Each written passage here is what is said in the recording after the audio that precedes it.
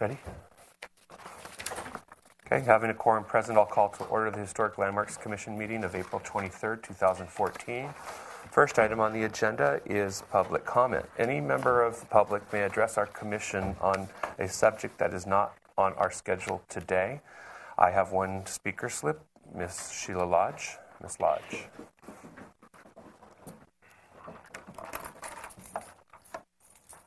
Um, press it again. There There we go. Thank you, Mr. Chair. Um, I'm Sheila Lodge, and I don't think there's an, anyone here that doesn't know that I'm Planning Commission liaison Welcome. to the HLC, and I just have some general comments that actually apply every time you meet.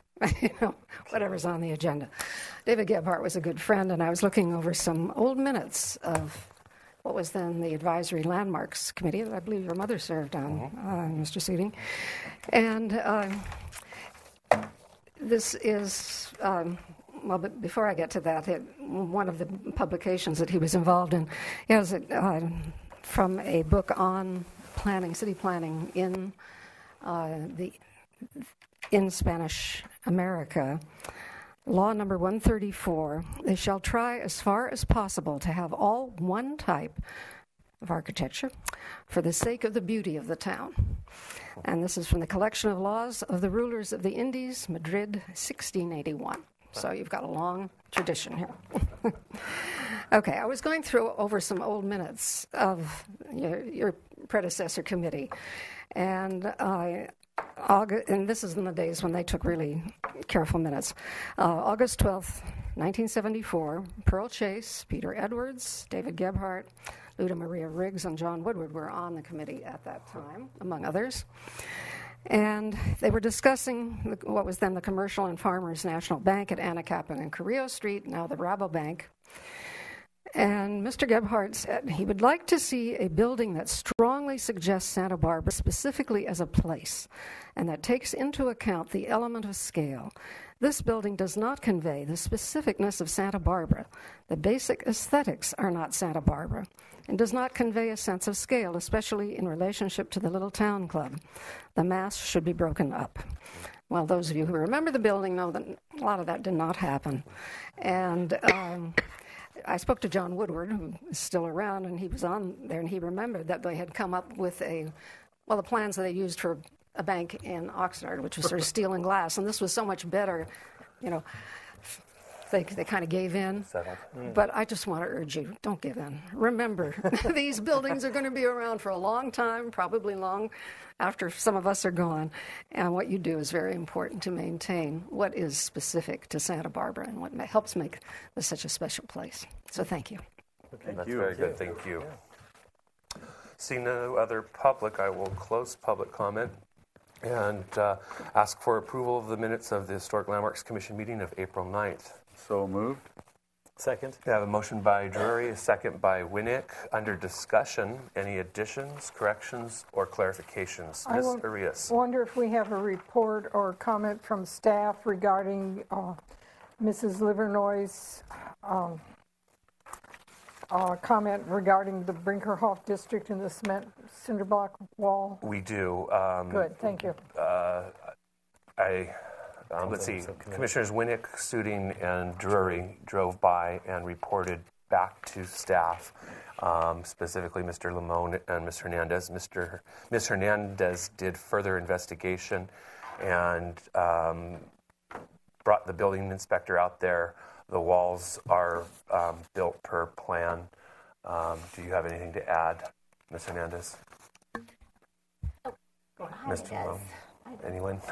Well, I- what I thought we, we would learn from this would be um, normally um, we don't get a streetscape of a uh, project that includes the adjacent structures unless we, we're concerned about the massing. At least That's what historically I think boards have done. But in this case, you had non-conforming buildings to setbacks in really close proximity. So it does point to the fact that if you're going to build a wall, consider what's right next door. Right. Uh, and I think that's what was missing in the, in the review of this project. Yeah. Well, it, it, it, when I, I when I recall reviewing it, it was a C or it is a C two zone. So they, they that's that's where we kind of got caught in that the structures can be right on the property line, and it really doesn't read as a C2 zone at all. It reads Yeah, as a residential. residential neighborhood. Mix. And I think there needs to be some consideration when that happens. Yeah, light and air. Light and air, certainly, you door. know, um, but the house directly to the south was uh, right on the property line, and then they have a wall built. Fortunately, the wall stepped down a bit to allow some light and air into that window, but it was awfully close.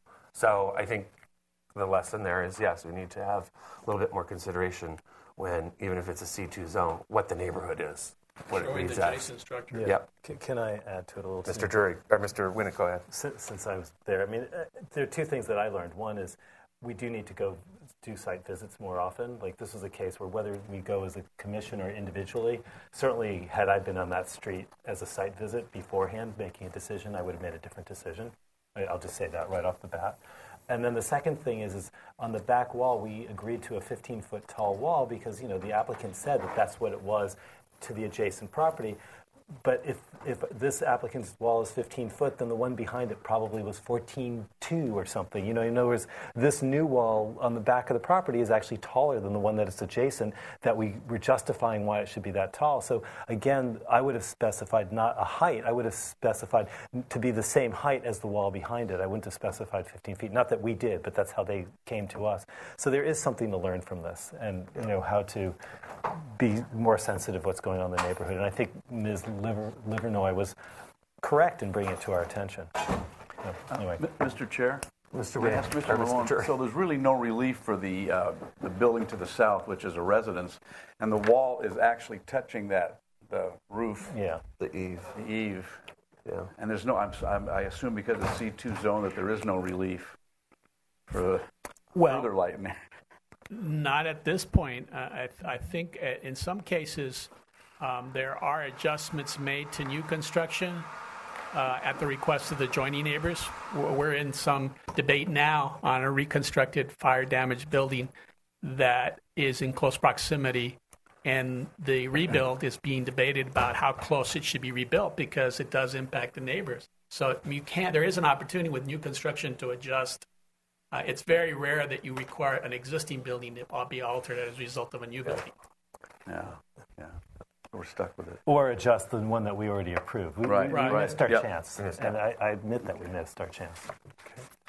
Anything else, Mr. Rios? No, but thank you for the input. Sure. Any other um, additions, corrections, or clarifications? Commissioner Mahan? Yeah, on, on page four, uh, under, in the motion, uh, after item one, great enthusiasm for this project expressed, which is true. Uh, I think item number two should be that the board accepted the recommendations of the subcommittee uh, regarding the approval of revisions to the uh, south uh, element of. of, uh, B. Section B.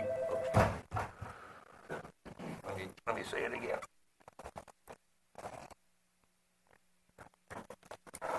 that, that uh, item number two should be that the board accepts the recommendations of the subcommittee uh, regarding the uh, uh, approved revisions to the uh, south uh, element of the building in, in uh, Lot B, or Block B. Area B. Area B, yes.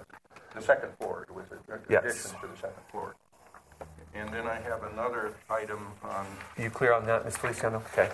and then on item page five, uh, the, uh, item four of the motion, the handrail shall be galvanized instead of painted. I don't think it was the handrail, I think it was the base, wasn't it? Correct. Yes. It was the base. Correct. The base that supports the handrail should be painted, Galvanized. Should be galvanized and not Gal- painted. galvanized and not painted.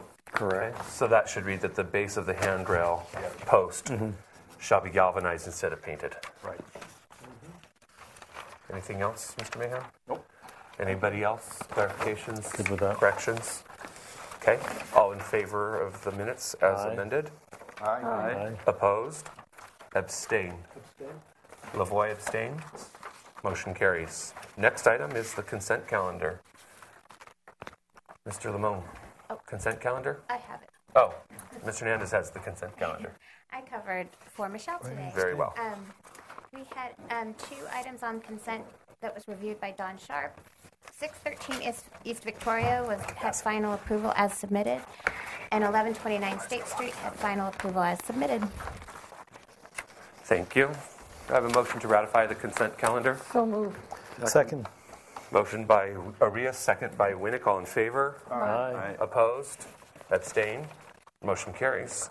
Next is announcements. Uh, Request by applicants is for continuances, withdrawals, any future agenda items, appeals, anything on Planning Commission, City Council, or Parks and Rec Commission the commission should be aware of? Yes, Chair stating that Commissioner Murray will be absent from today's meeting, and Commissioner Winick will be leaving at 3:30. And Mr. Limón has an announcement regarding the outdoor patio furniture. Yes. So we have some new applications that involve um, uh, heaters and um, half umbrellas. This is sort of a new uh, concept of mobile uh, issues that uh, are within your purview. And these half umbrellas, um, I guess, were not accepted by Mr. Sharpe on consent. It was Mis- Oh, Was yeah, it? I think I looked at them too. did you, and- Mr. Sudi? Right. And it's unusual in the sense that um, it's sort of a new product that starts coming out, along with these um, energy efficient electric heaters or radiant heaters. We used to see the old type of propane, Yeah. but now we're getting very uh, innovative. Yet they look sort of modern in some degree. So we thought that we might need to revisit just what type of uh, outdoor furniture and amenities are acceptable. So enhancing the outdoor dining uh, guidelines a little bit to be more specific. That way they don't come in and buy them, unfortunately, and then ask that they be accepted. And that's mm-hmm. Mm-hmm. the wrong way to do go about it. Mm-hmm. So um, So we need a kind of a subcommittee for that. I would like to do that, yes. Um, um, Mr. Chair. Commissioner Orías? Um, the last time I recall uh, a sensitive area that had heaters and umbrellas was the El Paseo. And that would be a good reference point, which might save you time and the necessity for a subcommittee or whatever. Well, I, I, I think the goal is to establish more than one option. Okay, And uh, I, I'd hate to have them all one type, but if we could have some choices, I think that would be the preferred uh, approach. But that would be the starting point, like you say. We know some that have already been approved, Yeah. and let's just see if we can expand it a little bit so we have choices. Right, do I have any, uh, I want two volunteers I'll- I'll on- on volunteer. Uh, Okay, Sharpe and Winick, thank you for volunteering. Appreciate that. Anything else? No, no Any more commissioners have any announcements? Mr. Chair? Commissioner Not an Drury. announcement, it's a question for staff. Um, I noticed uh, the, the um, installation of bollards at the corner of Anapamu and Milpa Street, well, down from the, in, right in front of the, uh, the new county bowl. And the county bowl has been going along very beautifully, and all of a sudden, uh, over the last three or four days, there's these square concrete bollards. And I wondered if they were approved, if, I don't remember them ever coming before us. No. And what kind of um, action can be taken if, if it's on city properties, right on the, on the sidewalk? It's, uh, it's probably county property, but Mr. Limón, do you want to Yes, respond? th- that, that property is unusual in the sense that there's uh, two review bodies, uh, actually three, uh, looking at it. The ABR had a portion of oversight as well as the Historic Landmarks Commission. So we can verify if the ABR looked at those or not. And obviously, this is a county facility, so they, they have some uh, review authority there. Great, thank you. Thank you, Mr. Drury. Anyone else? Mr. Chair, Mr. La Voie? Mr. Limón, parking seems to be a problem again, and there seems to be an awful lot of white cars in designated spaces.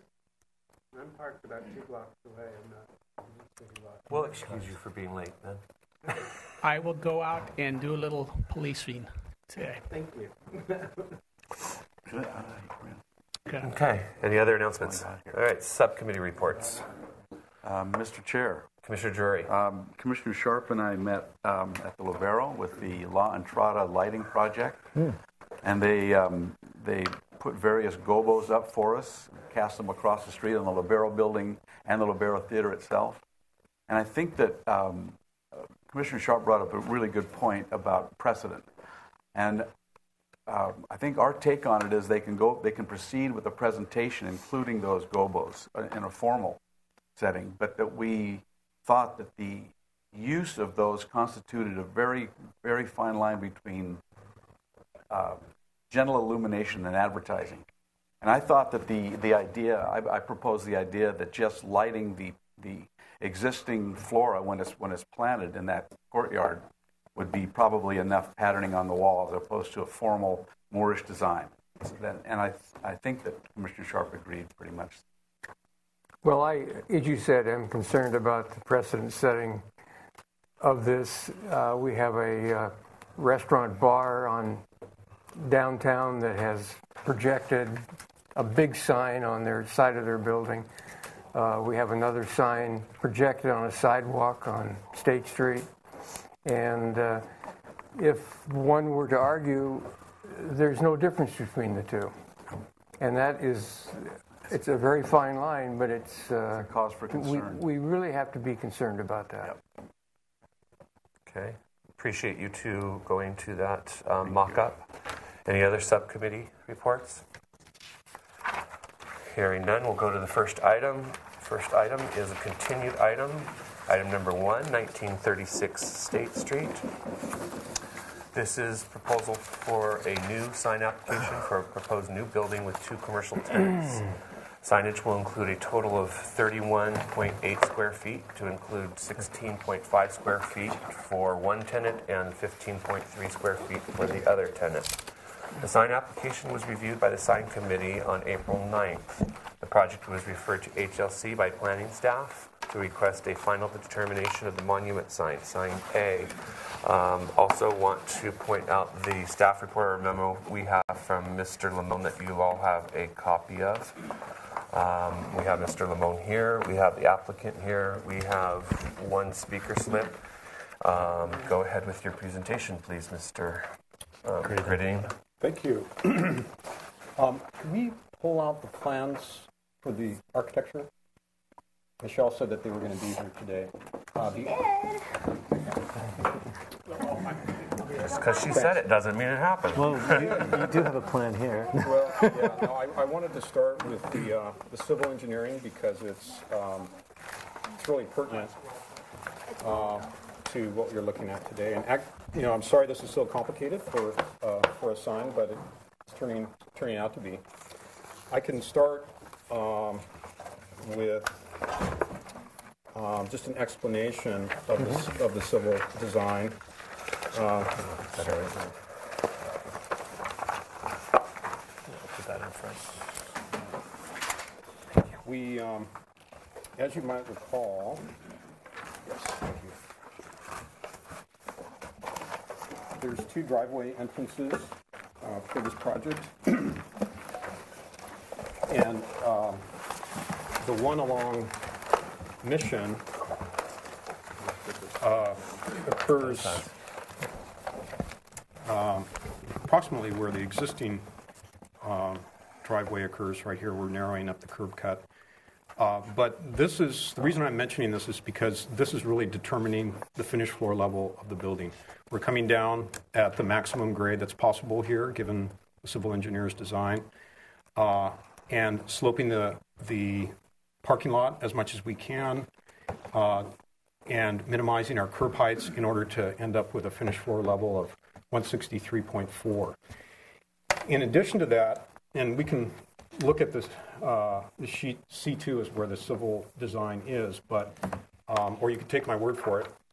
Uh, But this um, retaining wall across the front, it uh, starts at about two feet high at this end and ends up being uh, exactly three and a half feet high at this end. It's, the top is flat, it's because the driveway is sloping that the, that the um, finish, that the height changes um, is a it's a catchment basin for all of our roof runoff and site runoff because because this is a, um, a contaminated site, subsoil is contaminated. Percolation. We can't percolate, so we're, we're having to contain uh, you know 100 year storm water in this basin um, and then release it slowly over time uh, to so that we don't exceed our, our stormwater requirement. So if you you'll see that this is actually a poured concrete wall. This this back wall here comes across like this, and this is all poured concrete as well. It's it's part of the civil design. And and in and I'm again, this is this is compl- complicated because what we're looking at is the sign that's going to go on this corner, and one of the issues of the ordinance is that you're not allowed to artificially create a higher grade in order to put a pedestal, sign on the top. But in fact, you know, this we are we've kept this wall as low as we possibly can and still get our containment for water. In addition to that, and so this, this wall that's on this side just matches what's on this side. So, and then these slope up just slightly so that we're six inches above uh, the sidewalk level at, at its highest point up here. Same thing on this side.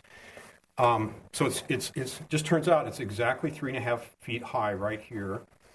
And that's the minimum, according to the ordinance, that you have to be uh, off the sidewalk in order to be allowed a six foot height dimension for a pedestal, pedestal sign. If, if the wall is, or the grade is lower than that, it's measured from the sidewalk as opposed to the raised grade. So the So- finished grade in here is about 162, 161.9, something new, Uh, somewhere there.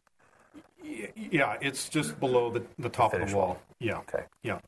The, oth- the other thing I want to mention is that, um, a couple other things. One is that we're, we just got, received our first building plan check back.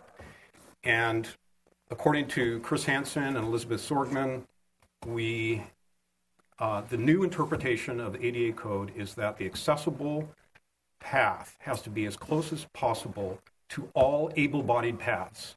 So if we have four able-bodied paths to the building, we have to have an accessible path ridiculous. as close as feasible to that, to that path. So I looked at, um, obviously, you know, that's going to impact us heavily right at that corner because uh, the building finished floor is almost four feet off the sidewalk right at this corner. So if we were to, to provide an ADA ramp at that corner, it's going to look something like that. Pretty. Seriously. Oh yeah. Oh my God. which is, you know, obviously, yeah. And, and in fact, this sidewalk is sloping at 8%. And that was one of our arguments. You know, you're, you're just feet away from a sidewalk that's not meeting the slope code, and you could just come across this here, where we're, we're at sidewalk level right here, and come back like this. And in fact, the path of travel for that distance is 100 feet, and it's 100 feet if you use this and come back here. It's the same distance.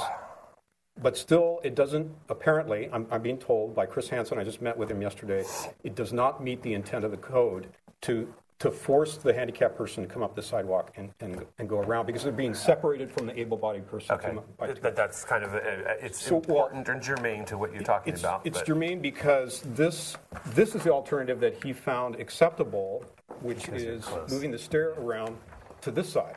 This is the same copy. Yes, it's another copy, there's three copies. That, we got it. You're okay. All right. We're fine. So, so in fact, there won't be a stairway right here. Uh, It, it- this, this is an acceptable alternative for the building department because we're close enough to the accessible path um, that, that the stairway works on this side. If we were to leave the stairway on this side and do this, we still wouldn't be meeting code. We'd still have to, to do that ramp issue uh, uh, closer to the, to the stairway. So so we still have this wall that's running along the length, and, you know, aesthetically, from the street, uh, where's the color drawing by me? Um, This is, this is what was approved by the board, and it does provide a nice pedestal uh, for the building, and, and makes sense that, that the height should just simply continue around this corner. Uh, And without the stair even, it still becomes very um, to my eye, uh, aesthetically appropriate um, to, it's, as opposed to indenting, trying to drop the grade in here, which would also mean that this corner of the building would be going down another three and a half feet. You'd suddenly have this tall corner right at, at the corner of the building. Uh, And the, if we were to try to drop the grade in here, the sign, which has to be a foot and a, one foot eight back from the front property line, would be blocked by this Higher wall. higher wall, which has to be here. This wall has to be here for our containment. So um, that's, you know, all of those issues uh, impinge on this design, but we also believe that we are meeting the intent of the code because um, In fact, a a strict reading of the code, and Jaime will, I need to get these plans out of the way because Okay, you can't sure. see on television exactly what you're getting at. Those go back to Mr. Limón. so then back to the sign, uh, which these drawings were done before we knew we had to take the stairway out. But um, again, as long as we're not artificially creating a grade uh, that, for the purposes of raising the height of the sign, no, we're not, art- we're not artificially creating a grade. We've created something that's aesthetically appropriate to the building and to this corner, which was approved by the board, was governed by the civil engineering allowed for the site uh, that had to be, um, and so it, it was already going to be a raised planter. We didn't even know what the sign was going to look like when we designed this. Um, and so now this is, we're, we're, we want to measure the, the base of the sign from the top of the wall, or the top of the grade would be fine. It could be, if we want to go down a few inches to get to the top of grade, we're fine with that. It's a, it's a very modest sign. Looks something like that. Um, it's got a, uh, there's a, there's a detail of it. Hold on, let's, Okay. let's city TV. This is from the Mission Street side. I, I think this is, this is good enough. Okay. So it has a, a wrought iron frame uh, on which two wooden boards are hung um, that are sandblasted and then painted, uh, painted letters. May I indicate what a human would be here? Sure. Probably right about there. Wow. Yeah. That's amazing. Well done. Mr. Chair. Um, let, let's make sure the applicant is finished. Is that pretty much wrapped Yes. up? Okay, go ahead, Mr. Thank you. Have the dimensions of the signs. It's six foot by, Oh, There is a detail in there somewhere. Oh, there it is.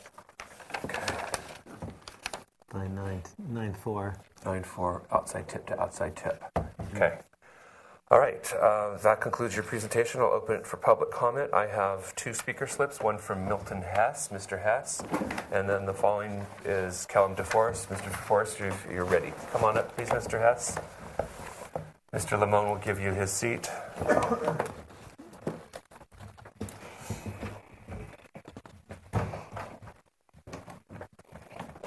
Thank you, Mr. Chairman, members of the commission. My name is Milton Hess. I live at 14 East Los Olivos Street. Welcome. And thank you. Um, I'm a member of the board of the Upper East Association. We represent um, over 235 member households in the Upper East neighborhood, and we have followed this project with interest. Um, I ask you simply to keep in mind that this site is at the entry to the um, Outer State Street Parkway, as well as to the Mission District. And so the board of the Upper East Association hopes that the signage you approve will not detract further from the appearance of this intersection. Thank you. Thank you, Thank you. Mr. Hess. We appreciate you coming, taking the time. Mr. de Forest.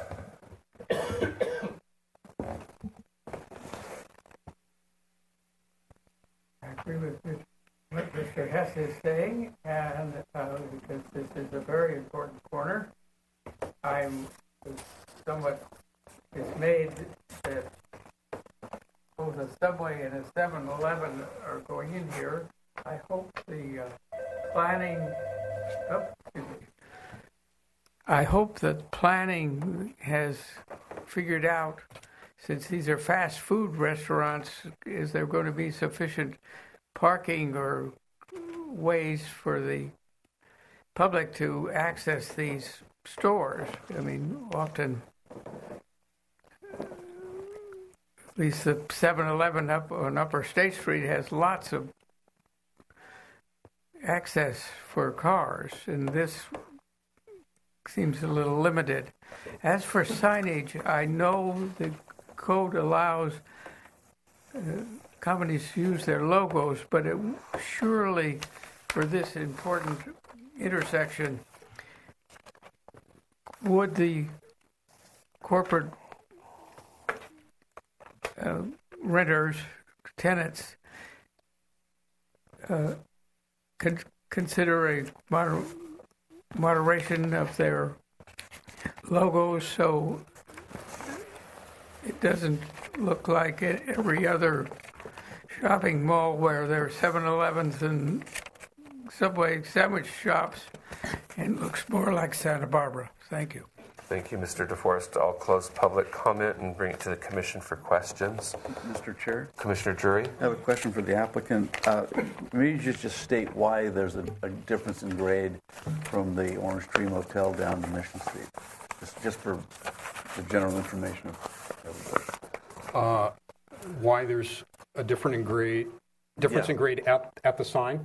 Yeah. Actually, there, uh, the motel has a raised planter in front as well. It's What? up, it's up uh, higher, in fact, than our finished floor level, and they've raised their planter right to the curb. So there, I believe it's like a four-foot wall right at the curb, and it has a planter right there. But it's also because the road from Pedregosa, the street, goes downhill to Mission Street and State Street intersection. I think that's the, kind of And, guide. and, the- and the, both lots are sloping from back to front to street frontage. That's Yeah. important to know. Thank Yep. you. Sure. I have a question of Commissioner staff, La Voie. if I may. Um, uh, As I remember, monument signs in the sign ordinance or guidelines are supposed to be near the primary drive entrance, automobile entrance, um, and not necessarily pedestrian entrance to businesses. Can check the mic. M- Mr. Lloyd, th- th- you're correct. The gu- The guidelines uh, do acknowledge that the location of signs should be geared towards more the automobile user to identify them where the entryway is to the facility in advance so they can make that uh, entry. Um, However, um, over the years, um, we've developed sort of a uh, standard of um, certain uses having uh, these placed on the corners. For example, uh, uh, gasoline service stations or, or motels. Uh, so I did a quick survey of mo- existing monument signs to see if I could find similar conditions. And the only one I could find, uh, well, actually, were several, but the only one that I knew that approximated this height was a Bank of America sign on Coast Village um, Road. Uh, and I have photos of that sign. Um, my um, reaction to um, seeing uh, a monument sign when it's not uh, a typical use monument is that it's a uh, um, an exception to the normal uh, uh, signage patterns for, for commercial. As you go up State Street, you don't start seeing monument signs until past Micheltorena to 1700 block and so forth. So it does transition to the outer State Street uh, area where there is more predominance of, of that, and you do have a more traffic pattern that is conducive to that. So um, I just wanted to show you that there was an existing monument. I have it on my phone. Okay, we'll see if CCTV can zoom. Zoom in on Yes, that. Let's see if we can get them to do that. That's the current um, condition. Is that it? Uh, it's like that. That is like so that. the planter right now for the former gas station did have a lower planter. So our point is that the planter is being raised from what's there currently, irrespective of the fact that it's necessary for whatever reason to finish that floor elevation three car. And I wanted just to point it out that um, as you transition, there are some examples of planters used for ground signs. Here we have two tenants, which is compounding the problem for two signs in the in the monument.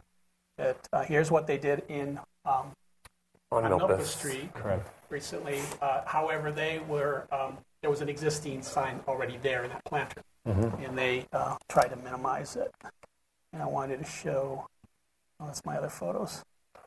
Um, Uh oh. We're the kids. well, it's- Now you're in trouble. here, here you got some examples of Which is just down the street grade, from. yeah, on the mm-hmm. 18, 1700 block, where there are examples where grade does change. And I believe the sign ordinance reflected that in certain cases you're going to have grade above sidewalk, and you have to account for the possibility that there's a ground sign that's being proposed. We have examples of low-profile type signs. Here's the one at Bank of America. Mm-hmm. So if you stand at that sidewalk, the top of that sign is about seven and a half feet. Mm-hmm. And I think there was a visibility issue which, which was recognized that, that location to raise the Bank of America so people could see it. Which location is that, Bank of America? Co- Montecito, it's Coast Coast Village Village Road. Road and Okay. middle of one of So those. So it's not an APV, but And again, that doesn't really speak to the entrance, so we do deviate from where people want to identify their business. Okay. I'll move on. all right. Any other questions? Well, we- we've gotten to Commissioner La Voie Okay. Commissioner Orías? At this time. Anybody else? Any Well, questions? that, that does beg a question, where, i- is there going to be additional sh- signage showing someone where the, where the driveway entrance is?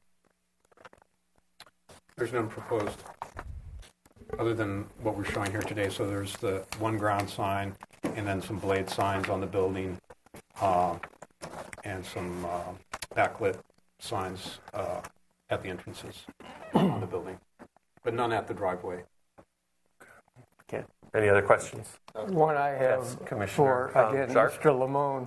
Um, Are there any provisions in the sign ordinance for safety or someone walking along the sidewalk and someone coming down Mission, for instance, in this case, and not seeing a pedestrian or an automobile? Yes, and this, these clearances dimensions were reviewed by our traffic engineer and signed off. And um, there, there is no uh, safety issue with the proposed locations. Commissioner Mahan? Thank you, Mr. Chair. Can you put that back? Oh, you've got I got it here. already. The, the, the question that I have is, has the applicant um, considered two sets of steps? Since, since um, this, this architecture here, this, this uh, Islamic arch, um, it begs for steps. Uh, Is there a problem with having two sets of steps? Yes, I, uh, I did mention that briefly. Uh, The, the problem with leaving these steps where they are is that we still need the ramp. Because the ramp has to be located as close as physically possible to the able-bodied entrance. No, my question is to have two sets of steps. Right, right. So e- if we leave this, we still need a ramp, even if we put, there's, and then there's no way to get stairs over here. We leave the stair, we need the ramp here. Well, if, if you put the stairs in here and you have the stairs here, why can't you, why wouldn't that, why wouldn't that ramp work adjacent to these stairs? Because according to Chris Hansen, every able-bodied path of access to the building has to have an accessible path as close as physically possible to the able-bodied path. In other words, if you have two sets of stairs, you need two able bodied Two it- ramps. Yeah, located as close as possible to them, yeah. so, But, you know, as I mentioned, by, because uh, in this case, we're, an able-bodied person, this is, this was the way it was explained to me, an able-bodied person using this stair would not lose sight of or be out of voice contact with a handicapped person having to go up the sidewalk and use it. and access So that building takes care of your ramp over there. Yeah, the sidewalk then is functioning as our ramp in this case. But I, I I think Mr. Mahan's question, though, is, is still pretty valid, that if you had two sets of steps like, like this, you still have that one. I, I get what you're saying about Mr. Hanson saying that every able-bodied access point has to have a ramp next to it. Well, I don't know, they're, they're within close enough proximity, the argument could be made that this is um, easily cited. Uh, what, you know, I'm not going to argue with the building code, but. well, no, no, I actually, it is okay to argue, if you don't mind my jumping You in. go right ahead. You're I- more I- familiar I with know it. usually we're into comments, but, I mean, uh, questions, but I, I think we're Well, I- comments I'd here. like to, I'd like to make sure that it's clear to everyone before we go into comments, that, because the, you know, uh, this is, this was our argument to Chris, was that, um, that this sidewalk is, has only an 8% slope. I I got it the first time. I'm Okay, Craig. all I mean, okay. I'm- So, I mean, I- I'm putting, pretty putting in two sets of stairs is not going to work. Any more questions? For the building. Commissioner That's, that's what I Well, want the to make question sure that- everyone When it- understands. The that. question that I have actually is, and I'll start with a statement. Mr. Hanson, though we revere him and everything and invite him to advise us and also give lectures, is no longer a building official. Okay, he, he, he's a consultant. He's a consultant, So- and he is, he is plan checking this project. So they do have. Yeah. Well, I would I would invite you at this comment, but I guess my question would be: Have you gone up to the building official, Mr. Estrella, and asked him his opinion on this question? Because it's a pretty important question. And my background in terms of applying, I know it's not historic code here, but I've applied historic code and also found that the building officials can be discretionary when it, common sense clearly Prevails. dictates. and this has an unusual sighting condition. It has unusual grade. It's not normal. So I- my question is, have you gone up to that level? Well, uh, no, I haven't. I haven't consulted with George Estrella. I I will mention though that uh, I spoke to both Elizabeth Sorgman and Chris about this, and this has been going on for weeks. So discussion about this has been going on for weeks. And Elizabeth has pointed out that they're, they've been recently retrained as plan checkers because the interpretation of the code and the understanding of code and the strict guidelines that they're supposed to be following have been shifting. Just over the last six, ten months, they've been shifting. And this, this one in particular has been of primary focus that the, that, as I've mentioned now several times, that the, that the uh, accessible path has to be located as close as physically feasible Yes, I get it. to the able-bodied path. So that's the key, and it's it's mentioned uh, more than once, and that and that every able-bodied path has to have that accessible path as well. Um, so Elizabeth has reinforced it, and and then I not only uh, had email exchanges with Chris, but also met with him yesterday. He was adamant about it that the sidewalk simply would not work. I I, I trust that, given how long Chris has been around and what Elizabeth told me. But if the commission feels that we need to have George Estrella give his opinion on it, then you know we'll do that. Let me ask a question then. Is the, um, the handicap access sign that you see frequently in, in other buildings um, pointing to wheelchair access, is that no longer um, still a part of it. tool? It is a tool. still a tool. It, but that's allowed when a able-bodied path is not feasible, and there are conditions where an able-bodied you cannot, or excuse me, where the, where the accessible path Is not feasible. is not feasibly Well, I call that not feasible because it's wiping out the landscape. so, Well- there you go. So I mean, we can get comments. Oh. Commissioner Drury. I just uh, asked the applicant, would you prefer to have two sets of stairs as you, as, when you did the overlay? Like you, I, I mean, we designed this with stairs pointing towards the main entrance to the building from the very beginning. They, that's where they've always been located. So I think it works very nicely with the building, but we're being forced into a position where it just doesn't seem feasible. So I'm, I'm, that's our conduit. uh, Well, I- I would just say feasibility and discretion might be two key words in terms of this. Okay, let's let's go for comments then. We'll start with Commissioner Sharpe. Well, I, I think the sign is overly large for the corner.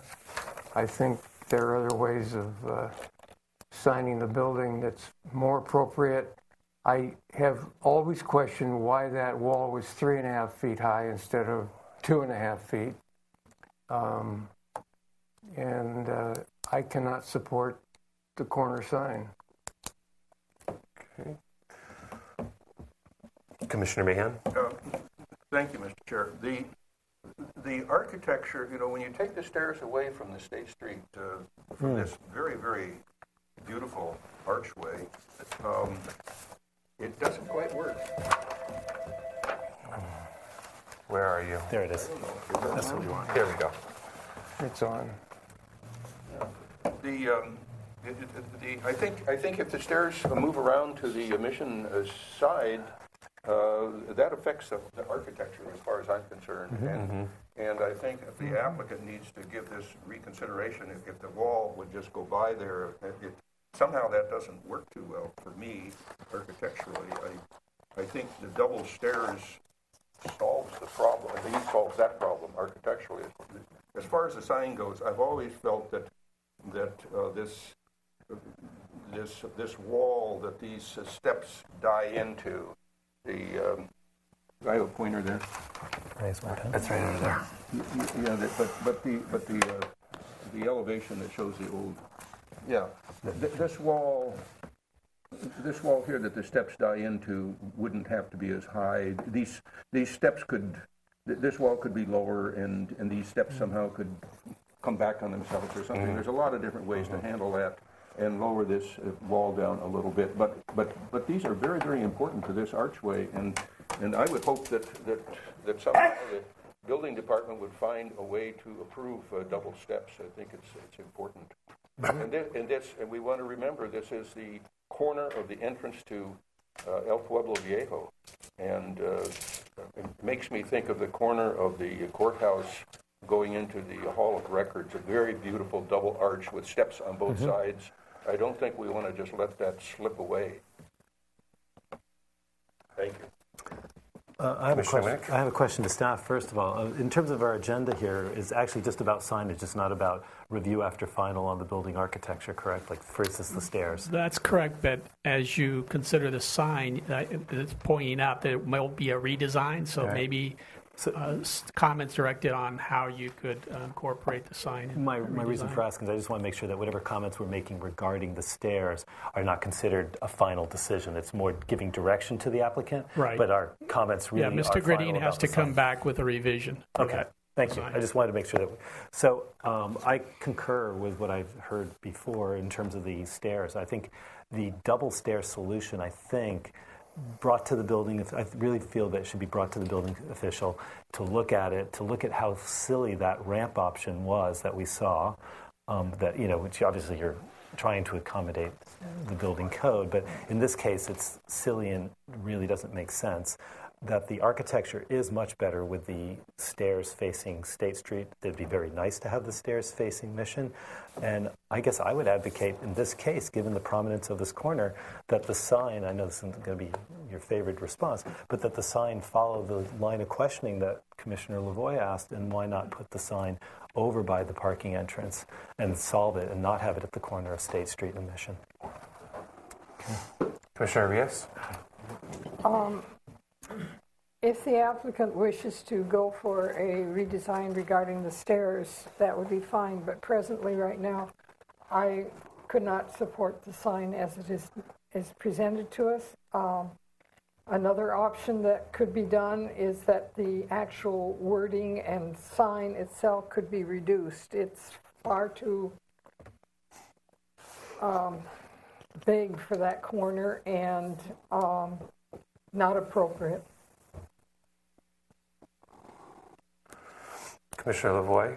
Well, I think the stairs should come up from the corner. Um, That might solve it. That might solve it. um, Did you sketch that out for me? sure, just do it, you know? Here, I'll do it right now. It'll be close enough. I won't charge you much. Um, I- um, This is the wrong corner for a sign that big. And, and, a, and a, a, a sign this big at the, either of the driveway entrances to me is much more acceptable than on this corner.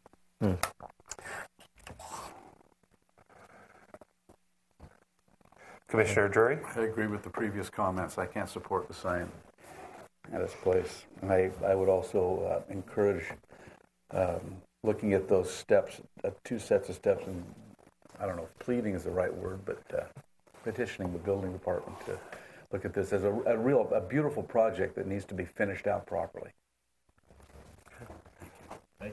My, my only comment would be that the, the, the ramp option really isn't supportable because it just wipes out more than 50% of that very important landscape. And um, I, I don't think that's the right thing to do on a corner like this. We need as much buffer between the sidewalk and um, the building. So I, I, I don't think we can support the ramp option at all. Um, so let me summarize the um, comments, and I'll try to um, segregate them between sign and um, other um, comments. Um, the sign is overly large and too tall for the corner. The commission cannot support it as proposed. The sign signage at the driveway may be more at the driveways may be more appropriate. Um, the applicant shall look at the original location of the steps as a solution. That location placement off of the State Street sidewalk is important to the architecture. There may be other solutions, such as putting it on the corner. The ramp option is not supported by the commission. Did I get everything? Uh, the, the, the ramp option as shown. Okay. The ramp option as shown is not supported by the commission. And also, be against the ramp. yeah, okay. And there also is the uh, possibility of um, having a second set of stairs. That that was interesting to the commission as well. Okay. So um, applicant shall look at a second set of stairs combining the original location and the one presented today off of the Mission Street sidewalk. Okay. Does somebody want to make that motion? What would you like, two week? Just some uh, clarification. Um, Yes, two weeks would be great. Okay, let's get through the motion so that we know if it, and then you can get the clarification, because if it doesn't pass, then there's no sense in getting the clarification. Um, So, do I have Second. someone want to, want to make a motion? I mo- Mahan, Second, Well, you Mahan, could give a Winick, all in favor? Aye. Wait, I'm sorry, under discussion, Mr. Green.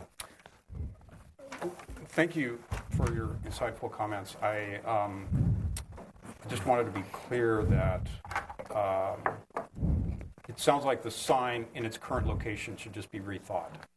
That even if the planter was lowered, say to two and a half feet, as was one commissioner mentioned, still having a sign that was six feet high in a two-foot planter is not going to be acceptable in that spot. Okay. Um, the the other thing I just wanted to be clear about and get direction, clear maybe clear direction, uh, was that if the building department, uh, i.e. George Estrella, says that we, if we are to have a stair in this location, or maybe maybe shifted to the corner, is a possibility. Uh, if let's let me put it this way: if if a stairway along the State Street sidewalk side is not allowable unless we have a ramp along the State Street sidewalk side. I, I would like some direction, if I could, some comments about how, how to approach that. Or, or let me, Well- to simplify it, would a would it be acceptable simply to have the stair on the side? Mr. Chair. Commissioner Drury. 'Cause I- We, uh, we have a motion on the floor, and, and we're, we're treading um, bad water here. So I'm going to allow Mr. Drury's question, and then I'm going to call the question. I, I think that the uh, direction was from Commissioner Mahan in terms of the, the opening up of that arch, which is a really prominent feature of that corner of the architecture of that building. Requires the stair. And those stairs. And that's what my motion said. It said Yeah. that the um, relationship of the side, or of the stair to the State Street sidewalk is important to the architecture. Yeah. So that's in the motion. All in favor? Aye. Opposed? Abstain? Motion carries. I think these are pretty clear. Okay. If you, if you read them carefully again, um, I think you'll have the direction you need. Well, the, the, the reason I wanted a little bit more discussion about it is because that is my understanding, just the way I stated it, that if we have an able-bodied access off of the State Street sidewalk, then we need an ADA access off the State Street sidewalk. And if we try to locate it on this side, we're going to I- impinge on our. I get you, and, and, and if So- you pursue the building official, um, perhaps, because, you know, logic needs to, to to prevail here. Mr. Chair, Okay. Mr. Limón? just one Some copies. clarification I'd like. So it looks to me like um, direction was to look at other locations for this ground sign. And so if we propose another ground sign at the other entry locations that is elevated above a planter, does the commission agree it needs an exception, or could it be approved without an exception on height? I think, it- I think we need to review it. Well, I would like to advise the applicant that he has to apply for an exception versus just coming before this commission and accepting the height as Then so was be it. proposed. on The the the applicant would have to apply for an exception. That's what I wanted to confirm. Mm-hmm. Okay. Okay. That goes back to Mr. Limón, please. thank you. All right. Um, Pass these down I to want to Nicole. remind the commission that we're uh, 15 minutes behind. Not good. Next item is item number two. This is for 920 Summit Road. This is project design approval being requested. Project requires substantial conformance determination and requires compliance with Planning Commission Resolution Number 035-09. The project was last reviewed by HLC on January 15th, 2014. Do I have those um, comments? Those minutes? Uh, Those minutes? Does anybody have them?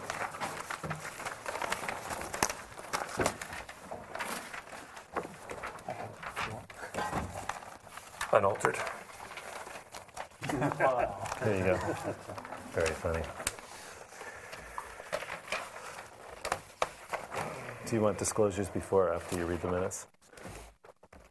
Yes, please. Okay, so um, I just want to disclose that I was not attending or you know present at the last meeting. That will be, uh, that will be mentioned. Right, but I did uh, review the video as Very well as the minutes, and then I also wanted to say that in my past and prior work experiences, I worked extensively with this client, but I haven't been working with them in over five years. So I Okay, just wanted so to nobody has trans um, Exactly. acted in over two years? Yep. Okay. Um, It was last reviewed on January 15th, 2014. It was a concept review, comments only. Um, Go ahead, Ms. Hernandez. The commission is generally in favor of the revised proposal. The project appears to be in conformance to what was previously, excuse me, previously proposed. The size, bulk, and scale are acceptable. The design is sensitive to the environment, the setting, and to the character of the site. The proposed Hispanic architecture is not referential enough to the original building. The proposal needs to emulate the original architecture. Refine the east elevation of the pool house snack shack to make it more in keeping with the original main building. The proposed cart storage, north and south elevations in particular, have an unbroken ridge, and the architecture needs to be broken up. The symmetry of the east west elevation of the cart barn should be more refined. A landscape plan is needed. Mahan abstained from commenting. Winick was absent but had reviewed the um, tapes and the minutes. Go ahead with your presentation, introduce yourselves, and try and keep it as brief as possible. Thank you. My name is Steve Welton. I work for Suzanne Elledge Planning and Permitting. We're the planning agent for the applicant. Welcome. Ken Alperstein from Pinnacle Design. We're the landscape architect for the project. Welcome. Rob Yeager with Marsh and Associates. We're the architect of record for the project. Welcome. Henry Lenny, Henry Lenny Design Studio. I don't know about you, And- but you're welcome always. And behind us is Bill Medell, who's the project manager for Ty Warner Hotels and Resorts. Welcome. Um, Just to recap where we're at, as you mentioned, we came to you on uh, January 15th for review prior to getting a substantial conformity determination. After that, we went to Planning Commission, and then staff did, in fact, issue uh, a substantial conformity determination. So uh, that's been done. Um, and so today we're here to present our, um, I'm sorry, following that, we went to ABR and received preliminary design approval, project design approval, and we're told to come back for final on consent. We're hoping to have a similar result today from you. Um, Ken is uh, our landscape architect. The first set of several plans are on um, landscaping. Bill, did you want to have these, any words before we? No, I just would like, since I didn't get to review landscape last time, I really want to start off with the landscape. Okay. Yeah, we did have landscape drawings. We didn't have time to review it. May I ask a You're good. question, Chair? Yes, Commissioner Orías. Um, It requires compliance with Planning Commission Resolution Number 3509. What is that resolution? Do we have a copy of it to know what it is? I might have it. Okay, the design review conditions. If you'll um, just bear with me here, I'm going to try and read them quickly. Uh, the project is subject to review and approval of ABR for its area of jurisdiction and HLC for its area of jurisdiction. We shall not grant preliminary approval of the project until the following Planning Commission land use conditions have been satisfied. Design review required, preliminary habitat restoration and revegetation plan, the restoration goals and approaches identified in the preliminary habitat restoration and revegetation plan prepared by Hunt and Associates shall be followed. Landscape plan, a qualified biologist familiar with invasive non-native plants shall review the plant palettes for all areas, including landscape around the clubhouse fairways and other areas. Trees, oak tree removal, eh, all live oaks in excess of three inches in diameter uh, must be mitigated at a 10 to 1. Oak tree location, um, pretty much the same thing, which it does not survive three years post planting, has to be replaced. Tree relocation the 83 existing trees identified for relocation in the tree protection plan prepared by Duke McPherson and dated February 2009 shall be relocated on the project site and shall be fenced and protected during construction. Um, there shall be tree protection measures listed on the plan. Um, sycamore, riparian, woodland, where feasible, restoration shall be enlarged to accommodate more landscape and habitat setback. Um, that's mostly ABR. I'm sorry. HLC. Um, well, it was crossed You're in a out. roll, so I didn't want to interrupt. Um, storage bins, date palms, sandstone blocks. Um, sandstone blocks reuse on site the sandstone blocks from the demolished uh, tennis court retaining wall. Date palms retain, retain either in place or moved to another location on the property. Materials, finished materials for the remodeled swimming pool terrace shall be referential to the nearby clubhouse. So I'd uh, like to- we, Just a minute, I'd like to make a comment if I might. It, it would be helpful if we have a, a, a planning commission resolution that we know what's in it. If we have to find uh, approval on this project, and, and this, this is an example of what we need to know. beforehand. Not Yeah. just me Not- quickly well, trying to read it. respect, not with you reading, but it No, should come I- out in. I can't. I mean- We need to know these things, Okay. and we're not being told. All right, continue, please. My pleasure. Ken, before you get, just to address those issues, uh, we did submit um, letters from the historian from Post Hazeltine, who are here, here today also, I should have mentioned. Mhm. They reviewed the architecture and, and make sure that we're in conformance with the Secretary of Interior standards. Uh, Larry Hunt is our wildlife biologist. He submitted um, um, a report confirming that our uh, landscaping that was proposed and the plant palette suggested by our landscape architect conforms with uh, the requirements of the uh, Planning Commission, uh, bike parking is shown on here. We do intend to use, the- at the original part of the project, an entire sandstone wall was proposed to be removed. Now only a very small portion of it, because of the substantial conformity determination, is going to be removed, but we are going to reuse that where possible. And uh, although it does say 83 trees, that was of the original application. We're down to, I think, 43 site-wide being removed. And then as far as the date palm tree, I think one or two are being removed, but they're going to be in the same re- general location. Well, they're re- just relocated, not removed. Yeah, the tree, yeah, you stated relocated, not Mm-hmm. removed. Absolutely. Okay. Absolutely. So, um, Commissioner, Chairman, um, Chairman's Commissioners, staff, thank you for having us. Um, I would like to talk about the purview of what the areas that we're looking at today. I think the beauty of most of what has, we're showing in the landscape designs for the clubhouse area is that 90% of the material stays in place as far as the trees. So as we come up, the historic date palms, the Canary Island date palms that are on each side of the street and coming up are existing. And in fact, what we're doing is re- relocating some from the golf course that have to be moved to enhance the entrance. So the existing trees on this side, the existing trees in here, and the existing trees on here all stay in place. All the parking lot trees stay in place, and additional uh, day palms that we're reloca- relocating from the golf course will enhance. The, so the symbols, these are the new symbols of the enhanced, uh, of the new relocated palms versus the existing palms. All the trees in front of the building all stay in place, remain as is. So really, the only landscaping that we're really talking about within the purview of the front of the building is accentuating the ground plane. And so we've looked at the, some of the old historic photos and have tried to simplify and come up with some accent materials, especially accenting the front doors to the, uh, um, you know, the, the, the secondary entr- the entrance to the um, uh, ballroom pavilion. We'll do something ex- there, but keeping the rest of it in the front of the building is more just sort of backbone. I would say old-fashioned, you know, whether they're camellias or, or you know, just simple material to really keep the building as our strong, the, the simplicity of the building uh, really takes care of the whole front of the building. So really, you're seeing everything, the, the main focal point of the trees uh, existing in place and just then uh, accentuating the ground plan.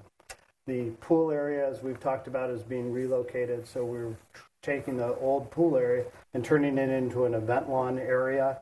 Uh, we've surrounded it with a few flowering trees, uh, hedge around it to sort of confine uh, little stage area, and I think this is a you know going to be a very simple but elegant. Still gives very beautiful long range views.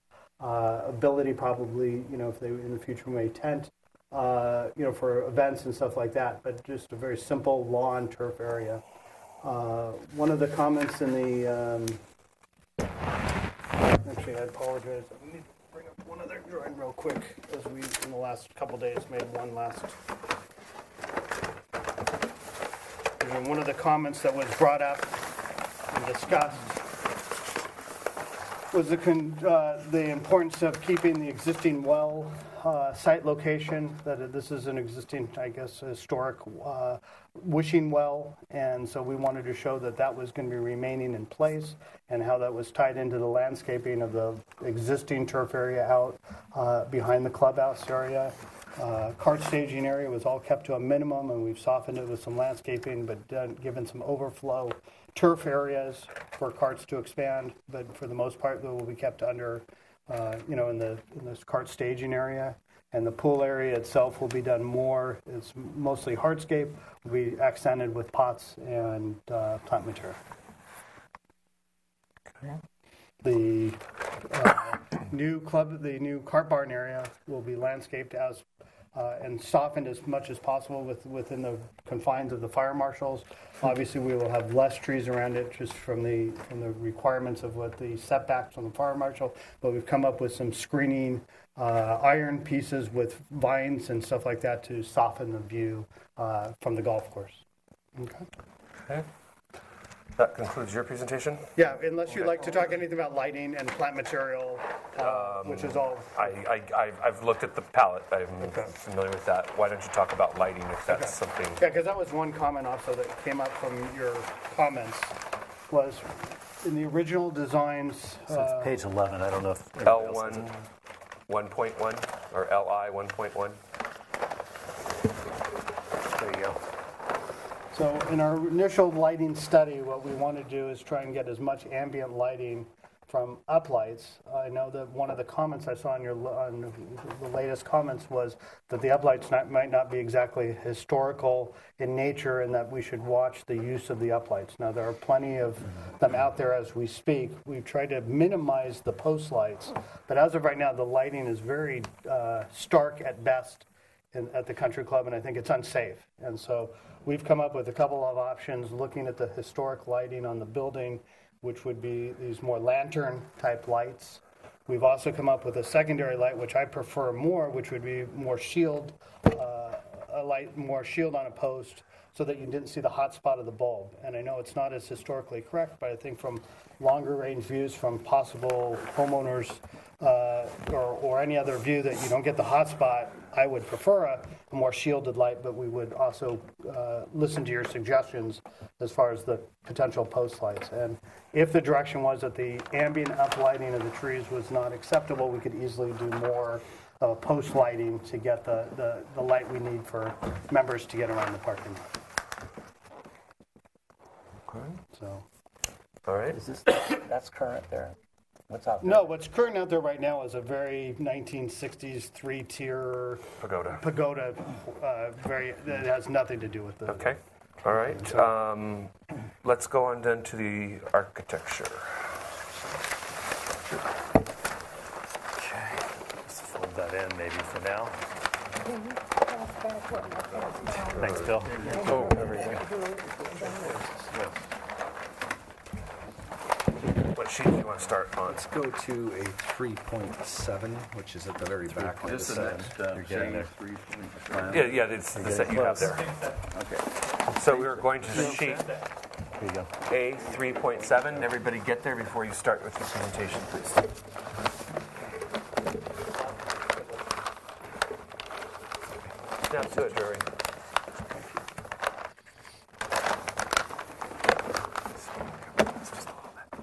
All right, go ahead. Okay, please. members of the commission, thank you for, for having us. Um, We uh, came before the commission uh, recently or previously and received comments as to the architecture, the articulation of the cart storage facility and the pool facility structures. And uh, uh, we were asked to revisit the, that articulation to make them more referential to the clubhouse uh, and consistent with the uh, um, colonial, the Spanish colonial uh, revival style. Um, So in doing so, the plans that you have in front of you have been updated based on some uh, correspondence and coordination with uh, Mr. Henry Lenny, who uh, assisted in providing some insight as to the appropriate historical elements. Um, And so these elevations reflect that coordination both for the uh, cart storage facility, which primarily involved some breaking up of the massing and some incorporating of some uh, some other elements that would tie it uh, a little bit better to the clubhouse structure. And there's also some subtle modifications to the pool uh, building elevations, which can be found on the following page, A3.8. As to the particulars of those uh, modifications, I'd like to let Mr. Lenny uh, describe some of the uh, specific details that have been incorporated to make them more referential. Well, let me show you some sketches. This is solely transition and, and after studying. Could you two switch places, actually, because we need to get it on the camera, and I don't want Mr. Lenny to break his shoulder stretching. I don't want that. I may never recover. Uh, these are some of the sketches that we started off with. In fact, it's gone through a quite a transition. Um, and these sketches were generated after seeing some samples of what Goodhue has done. I, I mean, quite frankly, I, and in my opinion, Goodhue was the greatest American architect. Uh, and uh, I had the great honor, Bill and I, of working on his personal house uh, many, many years ago. And what I learned about Goodhue is the simplicity. Awesome simplicity. Uh, if you look at the um, library in Los Angeles, the public library, if you look at Balboa Park, and also if you look at uh, the the clubhouse itself, we kind of drew from that, and these are just historic photographs of some of the projects that he had done here in Santa Barbara, as well as in other parts of the United States, including Hawaii. But uh, uh, it, it, was, it was everything about Goodhue was simplicity. And, and everything about Goodhue was the form and the detailing. Uh, another quick example of a house that he did. And also, the, in, in many, many cases, uh, he would articulate the entrance or have some feature that was, again, very simple or as elaborate as we saw in the tower of the clubhouse here. Um, but it all follows pretty much the same uh, vocabulary. The uh, hip roofs, in many cases, uh, high pitched, uh, 5 to 12, and so on. So we kind of took our hint from here. This building, it's, it's technically a garage. And so uh, there, uh, we thought, well, let, us go ahead and simplify the form, which we did. Uh, but the, the details, what needed to happen is that the windows needed to be recessed, at least 12 inches. Um, this is just a ceremonial piece in the center with steel windows. And then, of course, we have the all the doors, which are slab doors, but they needed to be articulated with one bias. That has worked very successfully in the past, including for segmented um, garage doors, which is indicated uh, here in the drawing. So let me just take you a little bit through uh, some of the modifications of the elevations uh, that, that Rob and I worked on. Uh, and and uh, this is um, this is the east elevation. I'll go quickly. This is the rear of the building. Now that's simple. That is simple. It's also tucked between the tennis courts. Right. There's- No, I'm Okay. trying to add some levity here. You did. And then, as far as the other buildings, there were minor changes, but again, all having to do with the simplification of, of the entire scheme. Uh, again, it, it- it was critically. Pool. This is pool. We've moved the- to the pool building now. Correct. Oh, I'm sorry. I, I'm, just, I'm just giving you a general uh, idea of how we simplify the building here. now we came up with a uh, another solution, which is even simpler than that. and let me show you that. And that solution really does have to do with just keeping it as a flat roof. Uh, again, all, in no windows at all. Uh, it- the, what you see here is some wrought iron grills uh, or turn post, wood turn post, uh, like in this case right here. The height of the plate, of course, raises from 10 feet to 14 feet because of the parapets that are required uh, for that. But that was another uh, another possible solution. And as far as the other elevations are concerned, there's still a combination of some tile. Uh, and and it's uh, these elevations were really difficult to deal with because, as you can see, without changing the floor plan, we explored a number of possibilities. And again, the idea was just to simplify everything that we have there. Um, and let me just go on by telling you what we're thinking here. The materials, if it is going to be a tile roof, it should be a handmade tile roof, uh, low fired, uh, oversized, and full barreled. Uh, light fixtures is the Barcelona fixtures that we're proposing, or we can do something else. Uh, the awnings, uh, we have one awning, I believe, and that is between the breezeway. And the thought was to use a black and tan awning. There are some pots that we propose to put in plant uh, uh, walls with orange trees. And if there's to be a steel window, uh, uh, sorry, uh, uh, windows and, and doors, then they should be steel. Um, and those would be painted the Malaga green as usual. Texture and color of all the buildings that we're proposing would match the existing building. So, anyway, in a nutshell, um, that's that is uh, that is what we're proposing. Okay. Thank you, Mr. Lynn. Does that conclude your presentation? Yes, it does. Okay, I'll open public comment. I have one speaker slip, Mr. de Forest. Yes, good afternoon.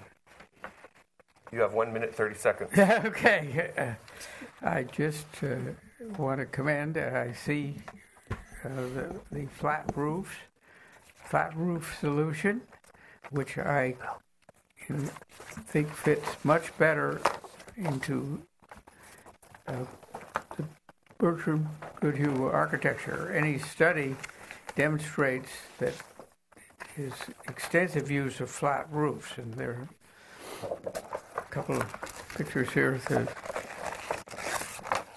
houses I've little resident cottages I found online that have flat roofs that were designed by him, and I and I recall and, oh, and for any people who have been to Valverde, my father, who designed the cottages as additional residence on the Valverde estate, saw to it that Goodhue design was replicated by having flat roofs. So please use flat roofs. That will help the dis- help tie in the into the main clubhouse building and be reverential to the work of Bertram Goodhue. Thank you. Thank you, Mr. de Forest. Seeing no other public, I'll close public comment, bring it to the commission for questions, starting with Commissioner Schomburg. You have any questions?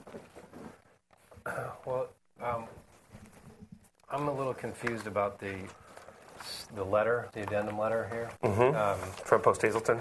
right. What is the? So it's dated April 15th, and these drawings are April 7th. Is, did Post Hazeltine review the April 7th drawings?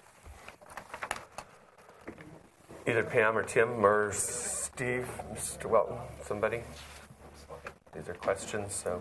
They saw all those.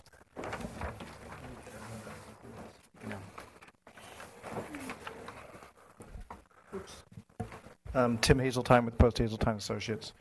Um, for the roof of the golf cart storage building, we were presented the option to review with the roof, with the gabled or hipped roof, pardon, the hipped roof, and not Per, the per this, dra- per these yes. drawings.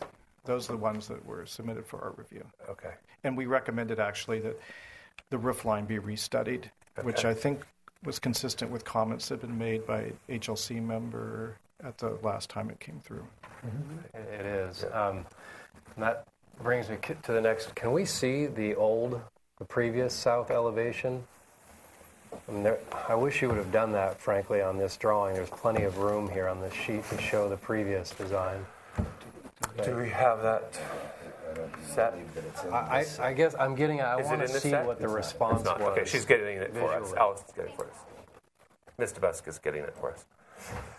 It's my fault, Craig. I just wanted to simplify it and have fewer. There was so much going on, so many pages. We had 30 something. Okay, thank Well, you, Mr. Welton. That goes to this. The, I'll move on to an, while Mr. Busk does that.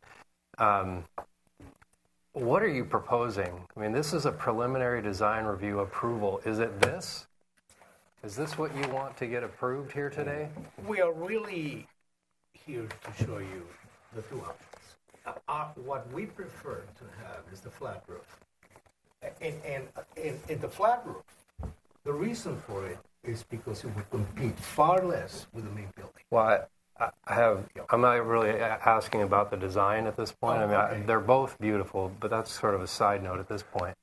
But um, I'm just concerned now we're structurally in the review. You're going to have to come back again and propose what you're proposing. Right. Because you're, you're asking for like too much feedback on That's too many different conceptual review. options. That's not preliminary design. And, and review. I'll answer that. With- This is the, this is the project we want you to, to look at and approve today, or preliminary design approval. This, I mean, you this could come type of back for architecture. review after, I guess. But then why was all the rest of the stuff presented? That was just, that was something that we wanted you to take a look at. Um, If that was something that we should kind of, maybe, kind of, if you wanted to go to a redesign, we could look at that. But this is what we want you to, to focus on today. If we give preliminary, excuse me, project design approval to this, then then you're bound to this, and you can't do this. Well, they could come review for Well, subsequent review. It's yeah, nuts. it's, a, it's, a, it's, a, it's not the right way to do it, and, and, and so point. It's- so I think I think today, Mr. Medell, you're not going to get project design approval, but you're going to get some direction from us on which would be the more appropriate style of architecture. That's- that's Um, fine. I, I don't think it's um, prudent or um, wise of us to give PDA, project design approval on something like this um, if that's not what you're going to do. Well, that's that was the ro- point of the question. Right, I, I tried to distill it. So, um, I mean, we can move on to other questions. Okay. And Ms. DeBus can bring the other four comments, I guess. Yeah, at she's that working point. on it. That's fine. Okay, did you have any questions, Commissioner I- Drury? Now, now I'm even more confused than I usually am. Um, no. So you, I know, it's awful. So you would prefer to have the flat roof design? That's, is that my understanding? Originally, that's what we were hoping because this is what's there today. I, I brought uh, photos of the existing cart barn. And this is really a cart storage facility. And I didn't want to get into a lot of this, uh, this type of architecture for something that was just to be a very simple building for, to store carts. That's Um, but it, this is completed, and I'd like you to, if, if this building is something that we really like to consider originally, but um, we started going and started going into this direction. I think So- I understand the problem. We- We need to proceed. Okay. So um, the the pool question. buildings, I think we're fine with, uh, subject to your comments and, and, and things like that. The proposed pool buildings and architecture. Um, this is something we're still not we're struggling a little bit with. Okay, so that's, Okay. so you're still, Okay. Yes. Thank Okay. you. Commissioner um, Drury, do you have any more questions? no, that's it, thank you. Commissioner La Voie. Do you have a, do you have a, the elevations without, not obscured by, by entourage? By the and trees? And, and a, a, a warm body would be nice to give scale to the drawing rather than all the trees. Sorry. I was just trying to get the, responding to his. Um, Thank you, Henry. sketch Where's the sketch, Henry? Yeah, but you want, Bill wants to see it. I want to see a body. But I think he was asking about this That- presentation. That, that one, So it would be this drawing. Yeah. yeah. Oh, here, you want me to get this out of Yeah. here for a second. He second? doesn't want to see the landscape. Yeah. We'll bring these back in a minute. Okay, we do have the originals if anybody wants to look at those. They're behind us. All right. So, Commissioner manage. La Voie, are Thank you you. getting your question answered there? Yeah. Okay. Commissioner Orías, any questions? Um, I'm trying to think how to word it as a question.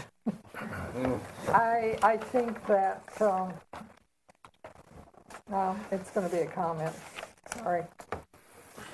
I think the, the light fixtures are something that just didn't fit. And I think that needs, for, I think that needs further work. That's one of the things that stuck with my mind. Okay.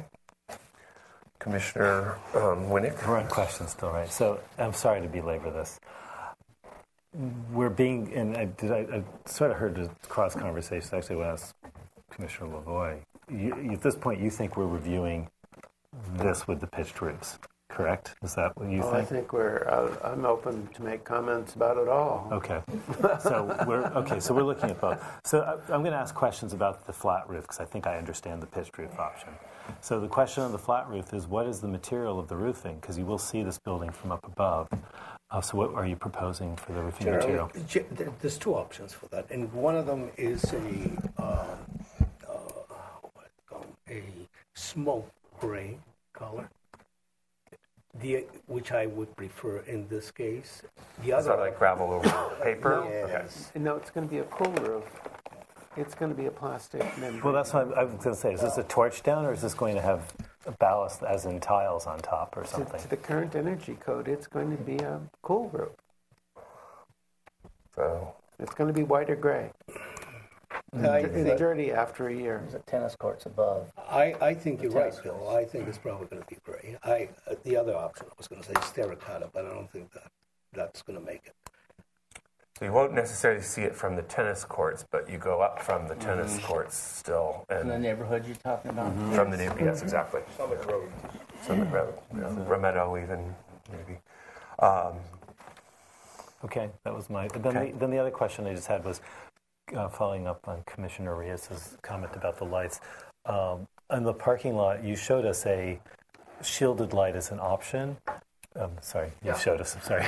and the question really is, is whether or not you found any historically more sensitive, let's say, or more appropriate shielded light options. Come on up, Come on please. up. Sorry to make you guys sh- shifting chairs here.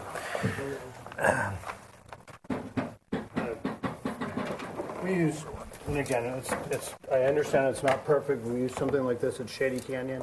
It's very similar. We can get the exact fixture. But again, at this point, we're just trying to get you to get an idea of at least our thought, the design standpoint. Anytime you can hide the, the bulb underneath the fixture and not seeing the hot spot of the fixture, it's a better way to go. And they, mm-hmm. Shady Canyon, they use something very similar to that. It's this very Spanish style uh, architecture. There's a little bit more detail on it, um, a little softer than, you know. Um, so in that next stage, we would, if that was something that would, you thought was allowable, we would get the exact fixture and start pres- going that direction versus what I would say is definitely a more historical, you know, uh, you know, set type of fixture. So. Um, question. Yeah, Commissioner Orías, sure. What is a, what is a, uh, a Barcelona light fixture?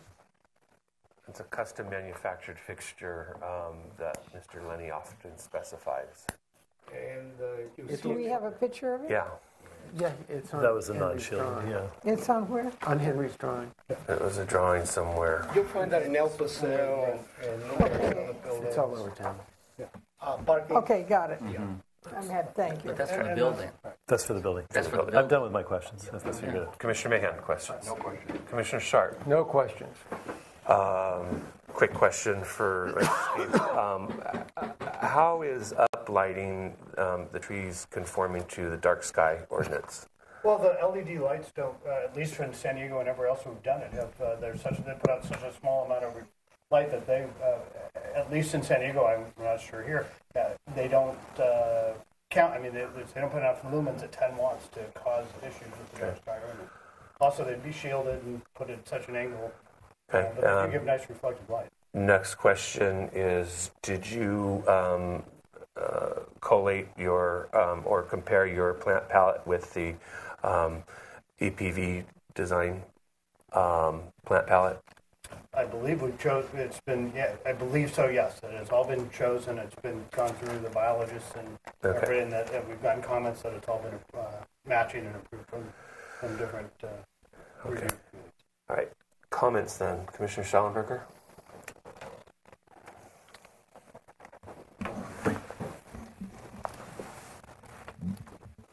Well, I think that there has been some. I'll just talk about the cart storage. I think I made the comment originally about the long, expansive roof when it was just a gabled roof previously. So I, I see that there's been a different, uh, different piece of architecture implemented for the articulated area, but um, and that and that looks nice. Um, and the hips definitely help. And I think the the raw image is actually better, uh, it gives a better idea uh, of the scale and, and proportion and massing. And it just, the hips alone broke up the expanse. So I think the applicant did respond um, adequately. And I, you know, at this point, I could support either approach. I mean, I, I guess I'm a little confused what to vote on, but um, I, I, guess we could look at voting on project design approval for everything but, and then have them come back for if they want to substitute. I, I don't I don't know structurally how that works, but um, but I could support either. Okay. And the the other pieces of uh, cart store or the um, pool house and snack bar, I, I think those are all completely appropriate. Okay. Commissioner Drury. Mr. Chair, I have further questions. Um, not very many. Um, between, from the ground to the to the bottom of the roof, the eave, how how tall is that? In the drawing, this in So the one from- that's- with- with your yes, plate height? That right, ten plate height, ten feet. Ten feet. So those are pretty big people.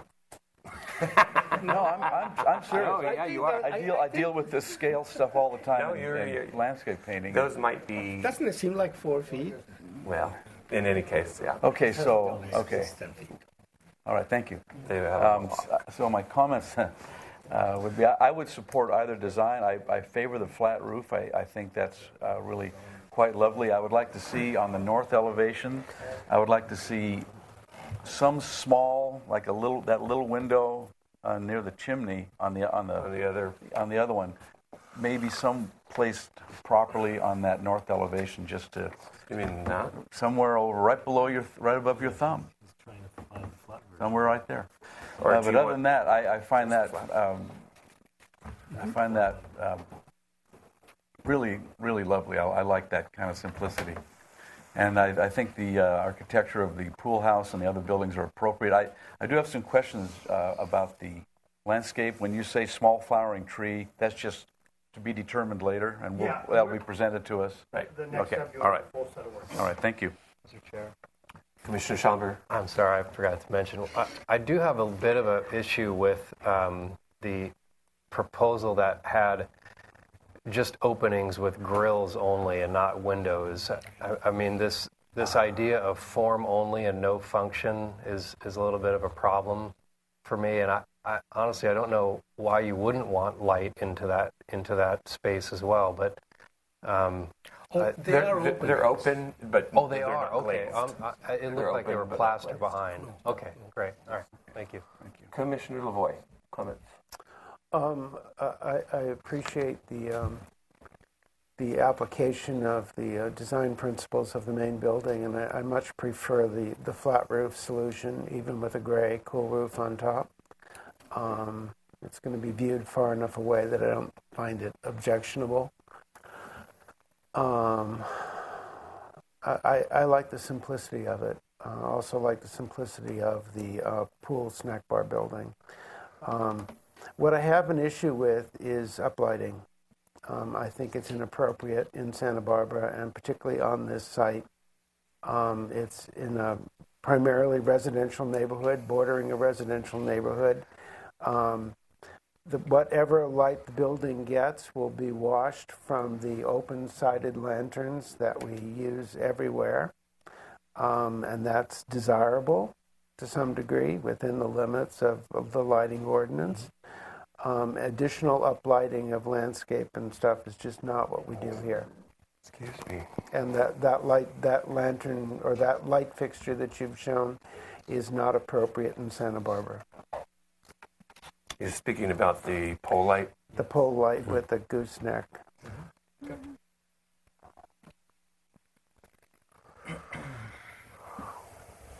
That's all. Okay, Commissioner Orías? Um, I, I have a question. Sorry. Wait, about- you did that whole backwards. I know. Started I with a know, comment. and I then- know. Okay. Patience, son. That's right. Patience. Um, you mentioned, I was trying to take everything down, and, and uh, the sandstone blocks and the screen for the backflow valve and things like that. Has that been accomplished? Yes. And how are the sandstone blocks being used and retained, et cetera? Go ahead.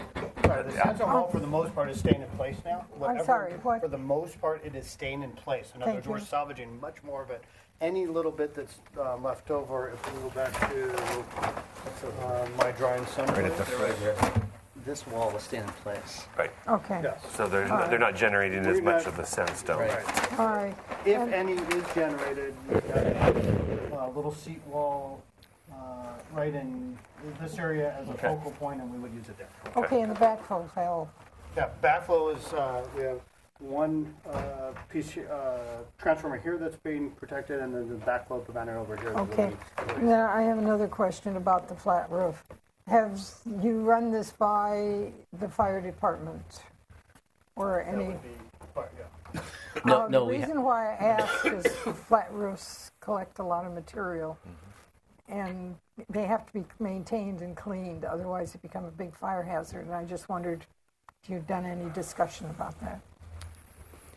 Not at, not- not at this time, but Okay. they've been pretty restrictive with us on the landscaping around. Yeah, no I matter what design that. we You do. said yes. that, yeah. Mhm. Okay, thank you. Um, My comments are essentially that I like what you've done with the pool and the, um, the snack area, and I think you've been very sensitive about that. I am not fond of the light fixtures, I'm sorry. And um, I, I, I have, I have some reservations about the flat roof particularly the impact of the down, but that could be probably mitigated by significant trees. But then again, the fire department doesn't like them, so. um, but uh, um, I think what you've done is, is really a nice addition. And thank you. Thank you. Commissioner Winick, comments? Okay, um, thank you. Uh, Just, I want to just make one observation between the drawings, just because it it just kind of want to alert it for going forward. And I guess I get to compliment you, Mr. Lenny. but I thought it was on. Is your microphone clipped? Maybe it's just not close enough. Okay. Anyway, I want to compliment you on your smaller drawings. Doesn't look to me like the proportions on those, but I was comparing them between these and those, that they are um, accurately uh, represented in the larger scale drawings uh, proportions. They look like they're off a little bit. So I just want to make sure that as this gets, presumably it gets project design approval, that the proportions of the drawings that you're doing really get respected, that, that the proportions are right. Some of these things look a little wider, some of the arches look a little narrower. Um, and actually, because of that, even though I know we're not in questions, I'd like to just flip to the drawings of the of the whatchamacallit, of the other little buildings, just to compare them, because we've never looked at this page during this presentation. And just to have those plus these, just to see if they're pretty much the same. In some ways, I think we probably should have asked for that as part of the presentation. Um, So I'm going to say that that's probably corresponding with that one. Actually, that's the, that's a comfort station, so the pool Sorry. buildings are all reflected in those elevations. Thank you for that help. Right, so for instance, this window is different than that window. Um, So I think I just want to suggest that perhaps what we want to do is we want to make sure that the, when we give project design approval, If we i- do. if we do, that it incorporates these drawings that we've been looking at, rather than the ones that are the more architecturally drawn ones. So I just wanted, that's my biggest comment. And I think the project that you've presented is very nice. I can support the flat roofs. And just by the way, since nobody's commented on it yet, I'll give you a thumbs up as well on the tan and black awnings. Since it's only occurring once, I think it'll be rather nice and attractive. So, Thank you. where's the tan, is it my turn? Yes, It's go ahead, turn. Mr. Mahan. Wh- Where's the tan and black awning on the? It's on the pool building. It's On the pool building. Oh, it's on the pool building. Here we go. Oh, It's in between. The, the, um, We need to I put mean, over I think that, that, uh, I don't know what to do. I've got this on and it doesn't seem to work. It's on. It's, it's not on. Here, while you're doing that, I'm going until Pull this out. to. Um, sorry. No, there's There's just too many there's drawings. way too many drawings. Here we go. Go ahead. Right? Hmm, What did I do wrong? Okay, the, the, uh, I mean, if we go to, with the tile roof, it sounds to me like a lot of people support the flat roof. I think that's, that's an important decision to make. If we go with the tile roof, I, you know, I like the tile roof, and I know that from the houses up on Summit and the Ramada are going to be happier looking down at tile than at a flat gray roof. On the other hand, it may very well be that if if we go with the flat roof and if the applicant likes the flat roof, they have to come back because that's not what was proposed today. Mm-hmm. Of I would like to see some photographs from Summit Road up there at the top. Well, you know what what is what is going to be the impact of the flat roof from these people up there in those very wonderful Carlton Winslow houses. Actually, I think there's a couple, three of them up there. Uh, so we- I'd le- like to, to see what that would look like. Some trees would, would help to mitigate, but, but as uh, Judy said, uh, we're not supposed to have trees around the building. So uh, I know Henry put a lot of palm trees there, and that would be nice. Um, I think that, that if we go with the flat roof, I would like to see some variation in the, in the parapet, that it wouldn't all have to be one straight line. I think that the smaller buildings, of, it makes sense that they're a little bit lower, and then the, then the main building would step up a little bit, and it would have, it would soften the, uh, the extent of the building. Um, I also feel that these buttresses uh, are very contemporary in the way that they uh, line up with the wall rather than a buttress being separated, I, I, uh, you know, from, from what it's buttressing. And uh, in the uh, in the picture where the buttresses are, where's the picture where the buttresses are? Well, even take this one right here. Um, where the carts drive in and out. I think functionally those buttresses would be held back. Uh, they would not be right up to the advance of the door. I think that's, there's a there's a chance, you know, for bumping and scraping and stuff like that. Buttresses, I think they should. I like the buttresses, and I like the fact that they're rounded at the top. Um, but I don't think they should be so brutal in terms of uh, of the lining up with, with the element behind them. I, I like the spindles, and tho- those would just be open. Oh, yeah, and, that, and that's really good for ventilation of a cart barn to have to have the open uh, the open uh, windows because they do it does generate uh, hydrogen inside of the cart barns. Um, I noticed that the pictures you passed around of, of uh, Bertrand's house, or maybe I guess it was uh, Kellam who passed them around. They they were a little more uh, gentle in terms of dealing with the top of the parapet. Either it was they had some tile on the top of the parapet, or they had uh, a little uh, molding or something like that. It's not quite so so. Uh, I know you're going towards simplicity, but um, maybe this is too simple.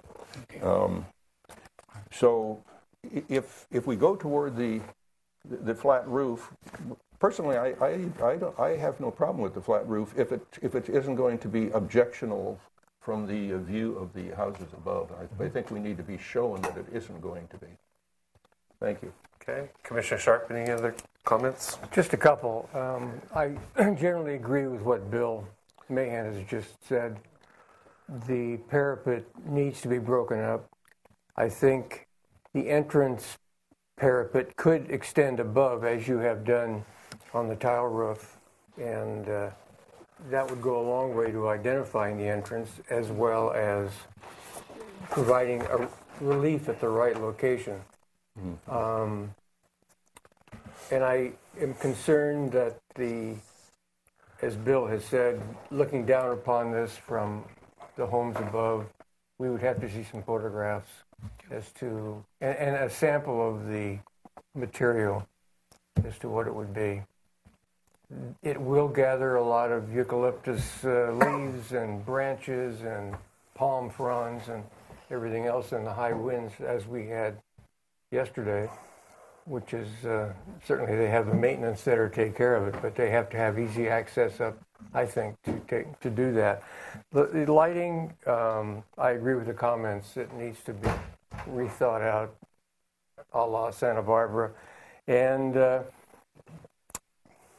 I think the pool structure is just simple and fine and needs to be clarified as to the window size. One window size looks good and the other one is Yeah. out of proportion just on the two sketches. So you can refine that easily. Mhm. That's all. Okay, um, Mr. Chair? yes, Commissioner Drury? I I was just uh, looking at these, at the buttresses uh, Commissioner Mahan was talking about. If they were, if they were pulled away from the, the windows that they're right up against by even six inches, just pulled out, uh, that might be a solution That's a actually to good break up that whole Good facade. idea. I'm not sure I agree. Okay. Um, landscape. Um, I think that the palette is um, a little water intensive. Um, we, we need to scale that back, um, be more drought tolerant. The use of lawn um, where it's not necessary is problematic. Um, the whole golf course is lawn, I get that. Um, and you mentioned some event spaces and some cart overflow um, using the lawn, but um, as you know, lawn is very um, high water using. So I, I need you to take a look at that and try to be more water wise for Santa Barbara. Um, I'm going to try to summarize the comments then. Um, the eight and a half by excuse me, the eight and a half by eleven elevations are what the commission is commenting on. Um, the hip roof helps with the requested roof breakup. The simplicity is appreciated. Uplighting is inappropriate in this neighborhood and on this site. The pole light that is proposed is not appropriate. The pool house and snack shack are nicely designed. The tan and black awning is appropriate. Provide photos from Summit Road and Ramada Road looking at the cart barn. The use of buttresses should be more traditional and less brutal. Open fenestration with bars is very appropriate to the style of arch- Spindles. Spindles, thank you. Open fenestration with spindles is very appropriate to the style of architecture. And then lastly, the flat roof solution is preferred with a gray roof. Provide some variation in the parapet. Study Bertram's parapets for that variation. It's the best I could do. Okay. Mr. Chair, I'd like to make the motion. Okay, But with, with a couple tweaks, little for it. changes. First off, on the uh, reference to the eight and a half by eleven, let's also say and and eleven by seventeen because some of them were larger. Okay. And then the second thing is, I would actually like to give the applicant a little more um, leeway on the design of the buttresses. I don't necessarily think that this space between the buttress and the arch necessarily will be the right solution. I'd like to just say study the buttresses. Well, that's why I said use of buttresses should be more traditional and less brutal.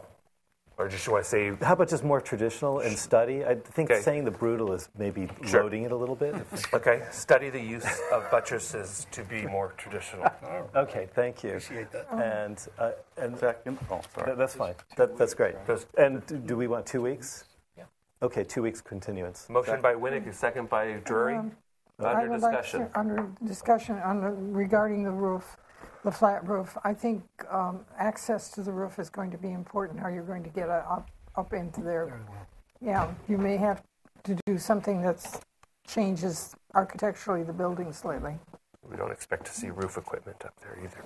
Well, uh, you wouldn't, they probably wouldn't need it, but. No, I know, but I just need to say it. All right, all in favor? Aye. Opposed? Abstain?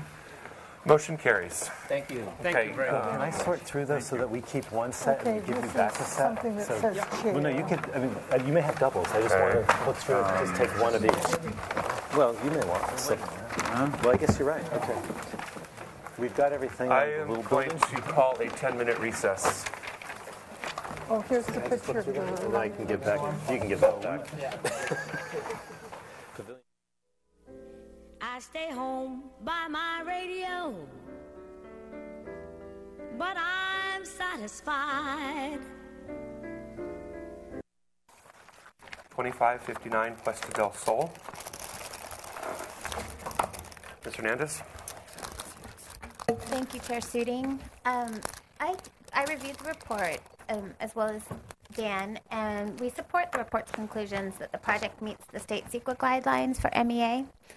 We do have some concerns about the compatibility of the steel trees and decking, but we feel that that is something be- to be compatible with the EPV guidelines and be, can be discussed in design review and not so much of a CEQA issue. And we did also, because these are conceptual, lots of the drawings we've seen are conceptual.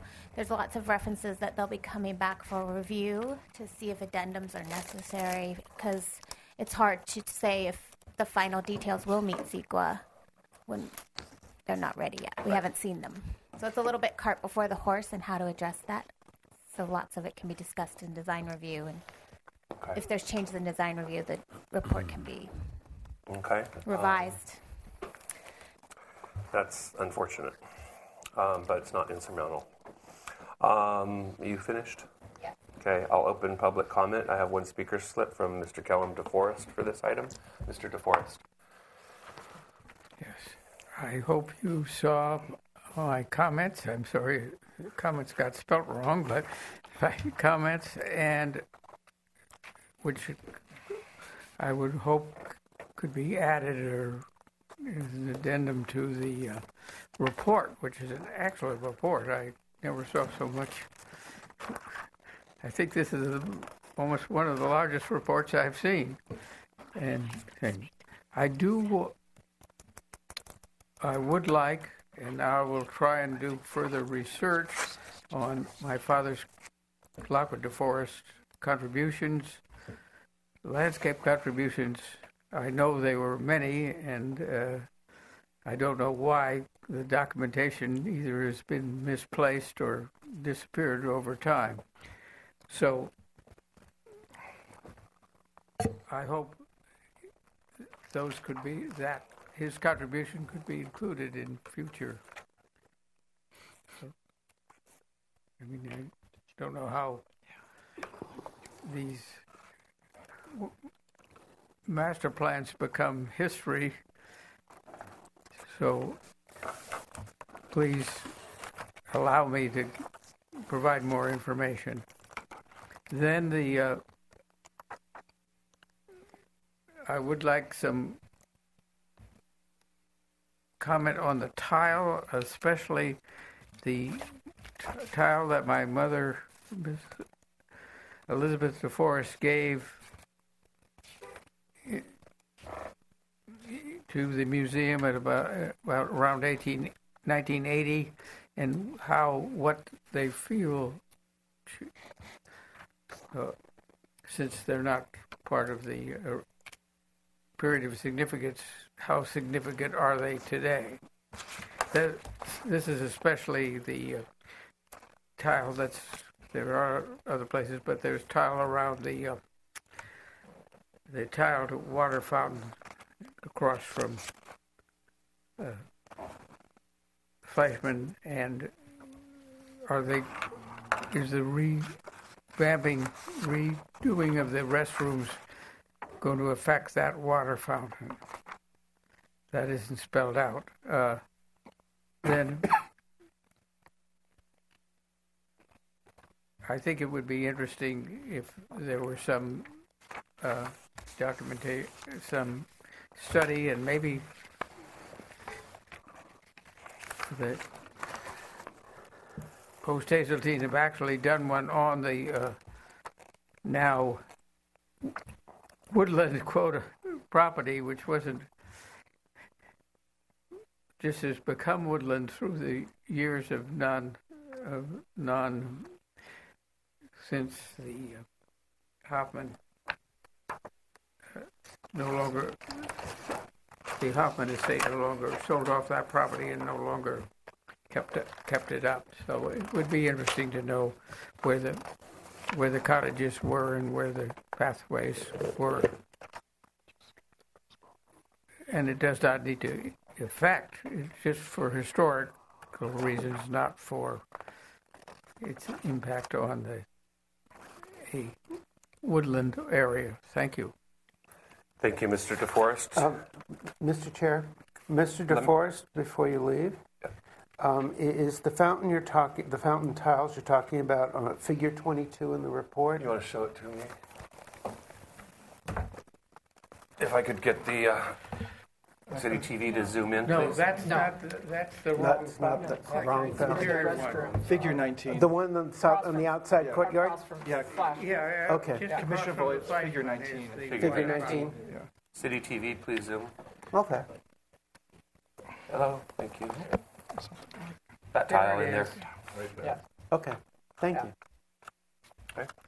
Um, I will close public comment, bring it to the commission. Um, for, uh, do you want, do you need to add something? Yeah, Go uh, maybe respond, uh, Chair Suding, Commission members, uh, Pamela Post of Post Hazeltine Associates. And I'd just like to clarify some of um, um, Mr. de Forest's uh, comments. And uh, in regard to uh, some of the, you know, the uh, detailed histories of the building descriptions, uh, most of this is addressed in the Phase One report. Uh, the Phase Two is only addressing, of course, you know, the significant issues. And so um, we did include a very detailed uh, history of the building descriptions. Uh, we also um, included a detailed history of the Hoffman property. Um, the tiles are, are mentioned and the significance of the of the uh, antique tiles, which are you know were Turkish tiles from you know 16th uh, century, 16th 17th century. So those were all addressed in in the phase one. And um, the- just to say to clarify that. And Mr. Chair, Yes, Ms. Elledge. Suzanne Elledge, representing the museum. I also just want to point out that that Phase 1 was approved by the Commission in August of 2012. And if I could comment on um, Nicole's comment about the, the drawings at the appropriate time, I'd appreciate it. Um, go ahead now. Okay. My understanding um, of the process is that these drawings are sufficient to go through a DART um, review and that they are adequate for um, Post Hazeltine to have come to the conclusions that they did in the report. Um, as is typical with any project, ultimately there's going to be more detailed drawings, and those drawings have to be um, reviewed by a qualified person, qualified architectural historian, to ensure that what was assumed in the report based on these drawings gets carried out um, in the same fashion so that the findings remain valid. So I don't think there's an inadequacy of the drawings for purposes of CEQA analysis um, or for the findings that you have to make for this project to proceed on through environmental review. So I just, it sounded like when you said it was unfortunate that there isn't adequate detail, there certainly is adequate detail to take this project through the process, but there isn't adequate detail for you to give project design approval or final approval, which comes after the project is considered by the Planning Commission. So I just, I just wanted to make sure that we are all um, on the same page. Perhaps I, I used that term um, incorrectly, but Ms. Um, Hernandez, can you elaborate then, and uh, or, or Mr. Goet, and we need some direction from from staff on the adequacy of the report. Um, Mr. Chair, uh, through staff's review of um, both the Phase 1 and Phase 2 historic structures report, we believe the, the level of information provided would be adequate for um, staff to complete the environmental analysis for the Planning Commission, knowing that there's aspects of the project that we don't have yet. So at, at the final approval stage, you'll be looking at more details um, than you have now. Uh, so um, that will be subject to design review um, by this body. It it may be that additional historic analysis is needed at that time Okay. too, and that will That's be what I wanted to hear. A, dis- a decision first first um, our urban historian, um, Ms. Hernandez, would look at it, uh, and and your board for for concurrence. Okay. Everybody under all the commissioners understand that. Yes, um, it's very clear. There, there Okay. are there, actually some of the things that weren't understood by the historian are very clearly spelled out that they would be reviewing that detail as it became available. It's very clearly stated in the report in several places. Okay, because I, I, I wanted to state that's why it's clear, spelled out in the report because those details will be coming back. perhaps I just And was isn't. not clear, and now I am. And, and I just, if I could just add, all of the recommendations in the report have been incorporated into the project description. So we have incorporated all of our historians' recommendations into what we are proposing with this project. So That's for us to determine. All right, questions from the commission? None. Yes, Mr. Chair. Commissioner La Voie. Um, on page, um, I have some for the applicant, but they'll come later. Page 65. Page Of the what? report. 65. Page 65.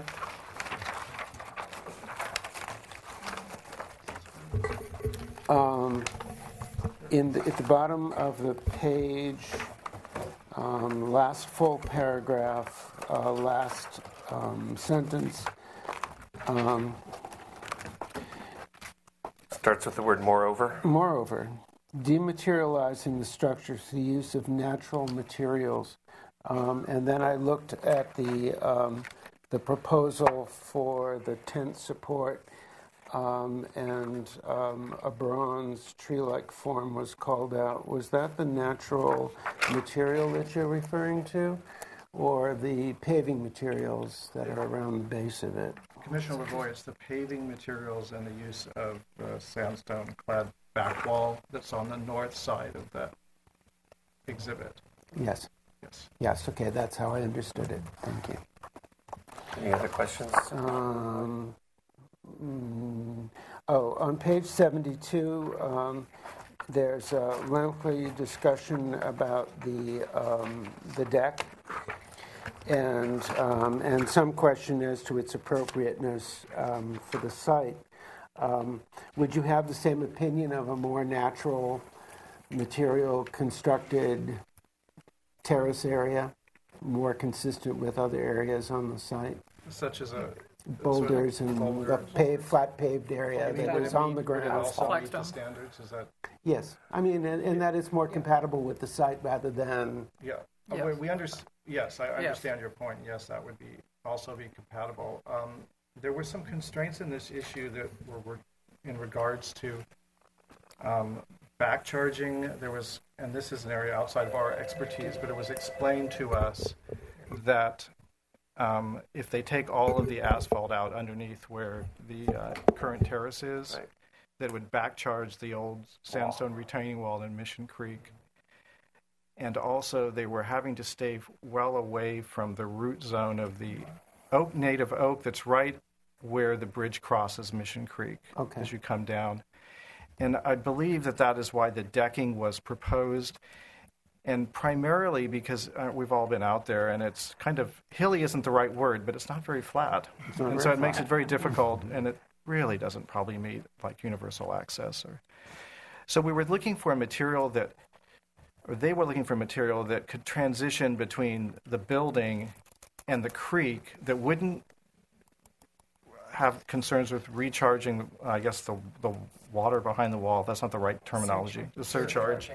As well as staying away from the oak far enough that you wouldn't have to put abutments down into the root area.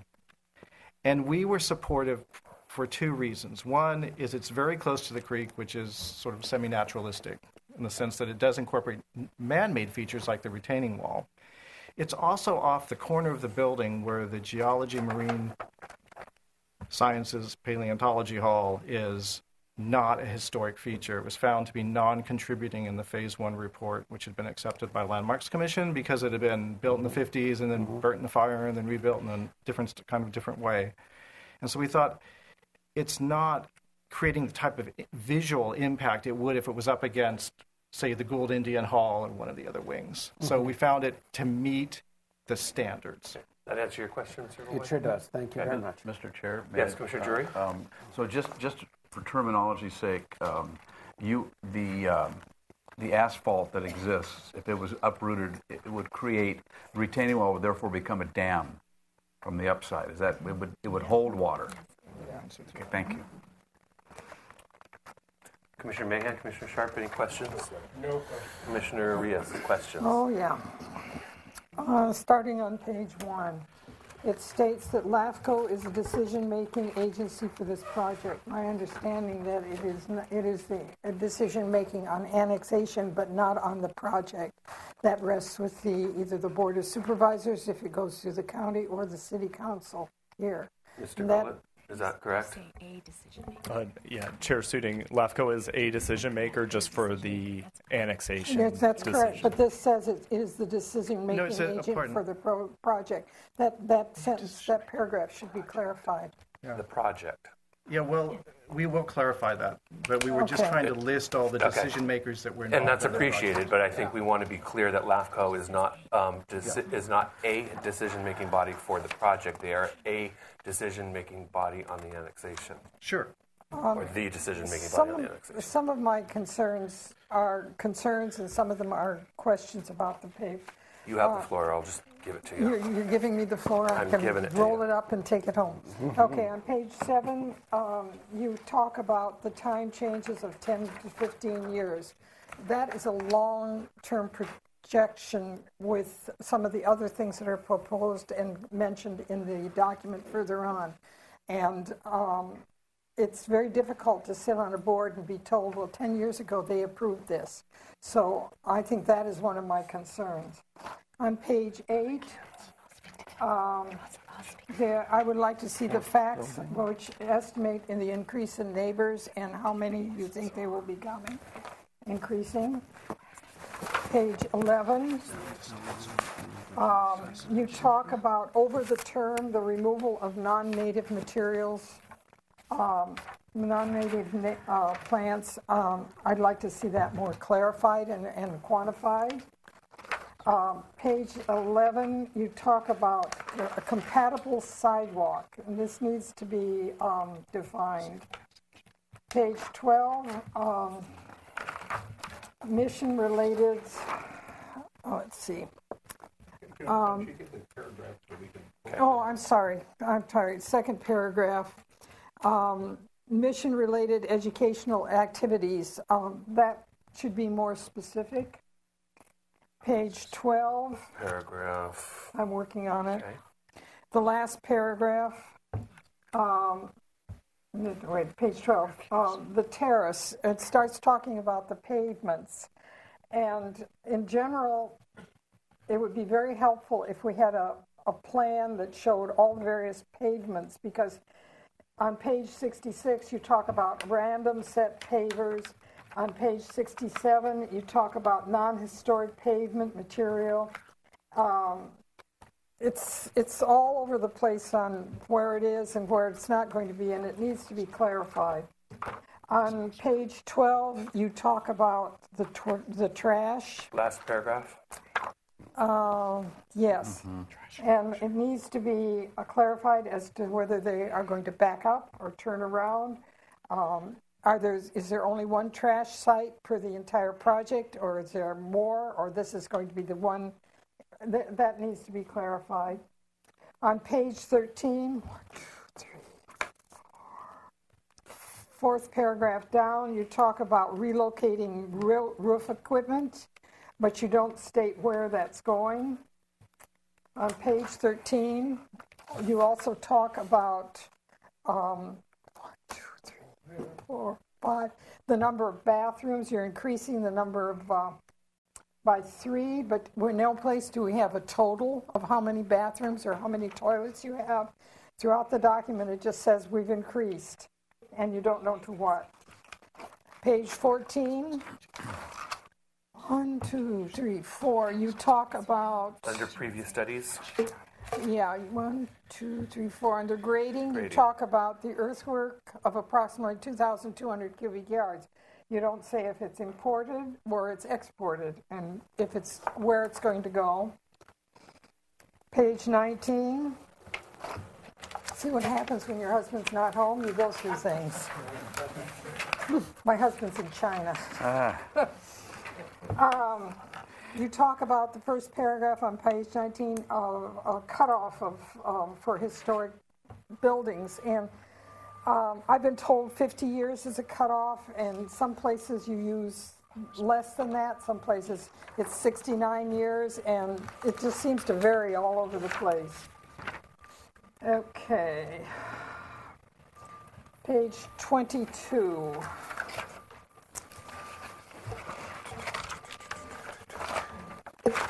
You talk about one, two, third, third down. You talk about the docent library. No, that's the first paragraph, and um, that it, it's it's you know not significant.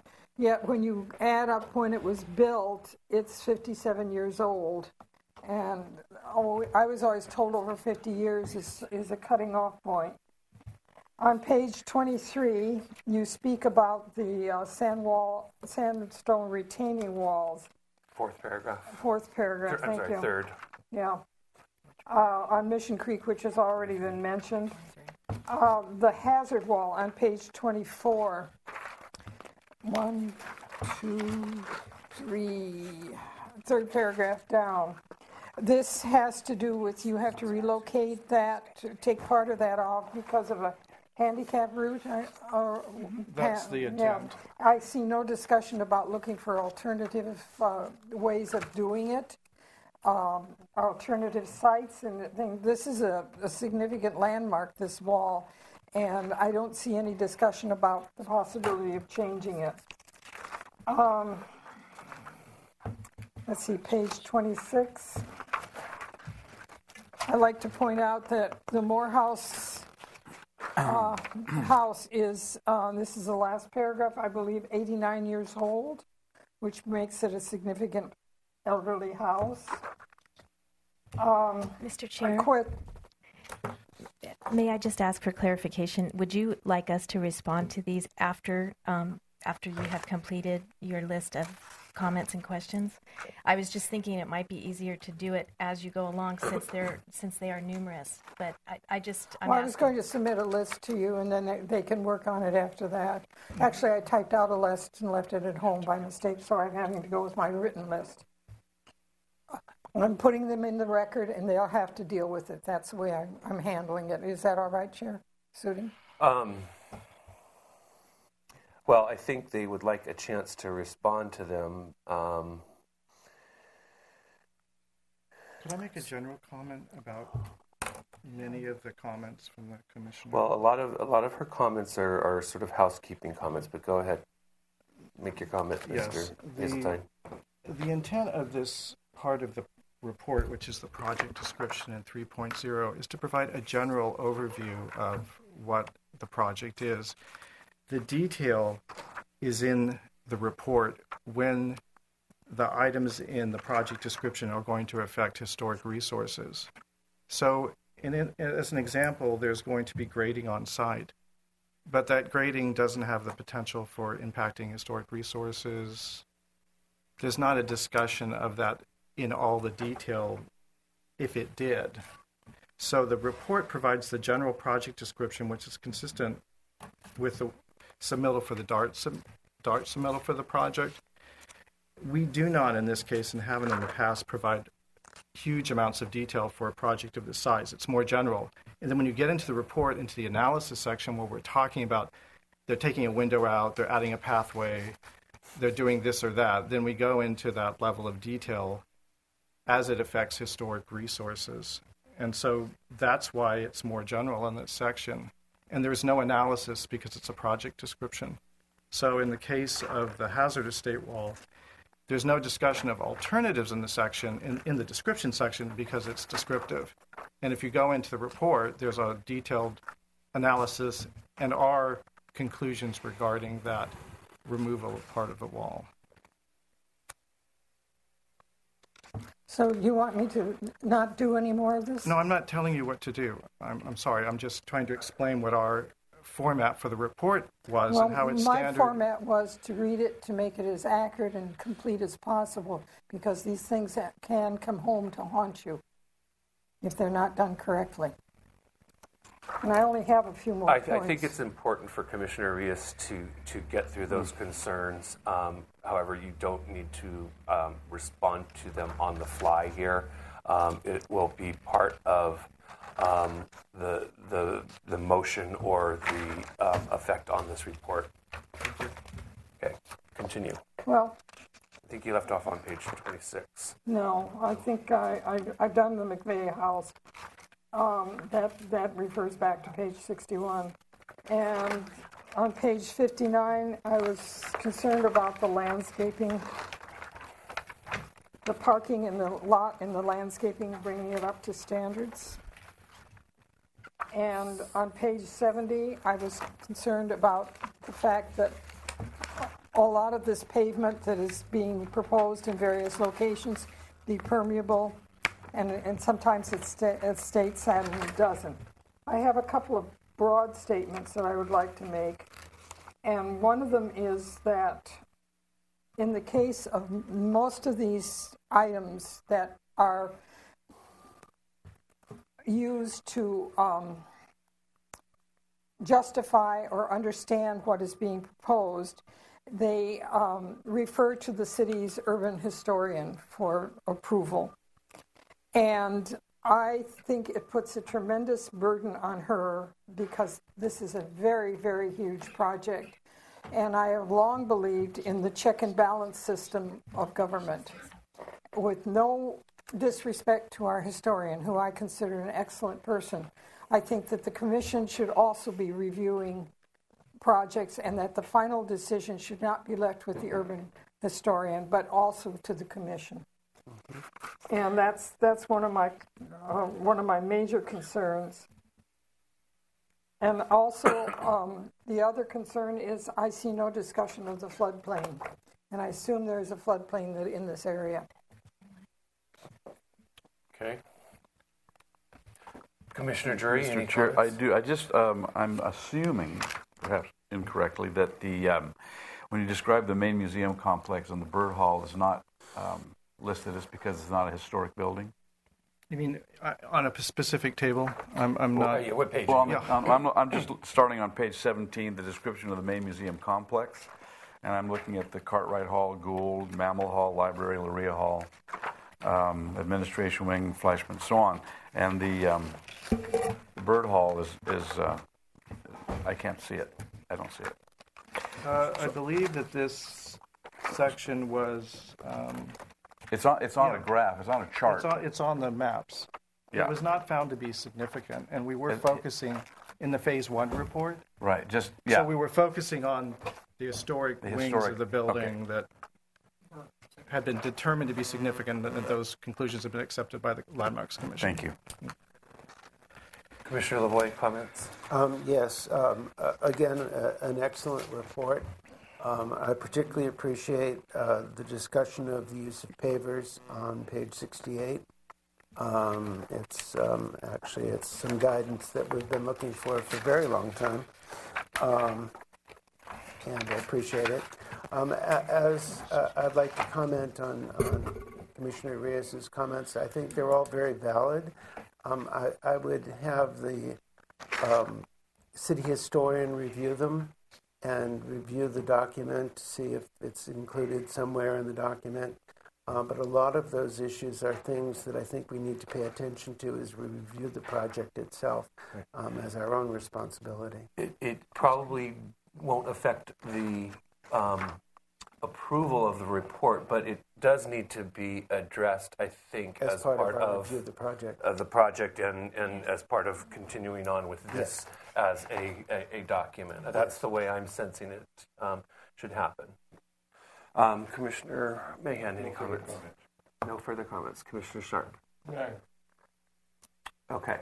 Did you need any I- clarification? I would just like to clarify one, one comment. Um, Some of the buildings are more than 50 years of old age, some are more than 85. Not a build, just that being more than 50 years of age allows the building to be evaluated. It doesn't confer significance. So that's why there are some buildings that are more than 50 years of age that aren't Yeah, I get it. significant. Thank you. Yeah. Um, okay, so what's the pleasure of the commission? Mr. Chair? Yes, Commissioner La Voie. I move to accept the report um, and to refer Commissioner Orías's comments um, to the s- to the staff historian um, for for for answers to the questions she's raised. Second. Okay, motion by La Voie, second by Drury. All in favor? Aye. Aye. Opposed? Abstain? Motion carries. Thank you you. understand the motion? Yes, we do. Okay. Thank you. Important that you do, and that we do. All right. Next item on the agenda is concept review. This is a new item for 2559 Puesta del Sol. I want to remind the commission that we are 50 minutes behind, and I apologize to members of the public, but that's the way it happens sometimes. Oh God. Okay, yeah, And that's on. Uh, this is a proposed master plan for the Santa Barbara Museum of Natural History to carry out the following improvements anticipated in the next 15 years. Improved accessibility and ADA Put compliance, the spider, put it away, don't point it at me. full renovations to the Marine Paleo Exhibit Hall and, restora- and restrooms, including an 82 square foot ad- addition, replacement of the butterfly exhibit, rehabilitation of Gould Hall, relocation of trash and recycling, new fencing, enhancements to existing outdoor activity areas, landscape improvements, native habitat restoration, mechanical equipment upgrades, and interior repairs to existing buildings. The project requires Planning Commission review and annexation of parcels 023 hyphen 250 hyphen 039 and 006 and 00 excuse me 068 comments only please introduce yourselves for the record and give us a brief presentation Mr. Chair, hi. Hi. My name is Suzanne Elledge. and Welcome. We're representing the Museum of Natural History. We do have a presentation for you today. We're thrilled to be here with you today. This is a meaningful milestone to us to be back before the HLC. It's been nearly two years since we saw you last. did you bring the food no food this time. too. You'll notice that we're on quite a scaled down program these days. Um, so I, we're anxious to make our presentation. It's probably about 20 minutes. I just want to forewarn you, but it is our first time rolling out this new project, so we want to make sure that we cover it adequately. I think some of our presentation will answer some of Commissioner uh, Orías's questions. Um, some of the information is in the plans, and we'll review that today. Um, four of our team members are going to make the presentation. I want to introduce to you the new president and CEO of the museum, Mr. Luke Swetland. He's going to be sharing with you um, the rationale for this new approach. Suzette Naylor will be talking about the philosophy behind the approach, and then Susan Van Atta will talk about the site improvements, and Walter Schacht, the architecture. welcome all four of you and obviously said welcome to you already Thank you. Good. Thank you, Suzanne, and good afternoon. I've been with the museum for just over one year, so it's a pleasure for me to be able to introduce myself to this commission today. I want to first start by thanking the Commission for your thoughtful input on a previous version of this plan. More important, your patience as we went through a six year long planning process, and now we have a project in front of you.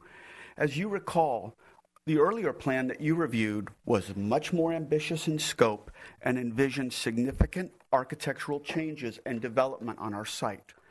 As I think you're also aware, in June of last year, I recommended to the board that the museum stop all work on that approach. Why?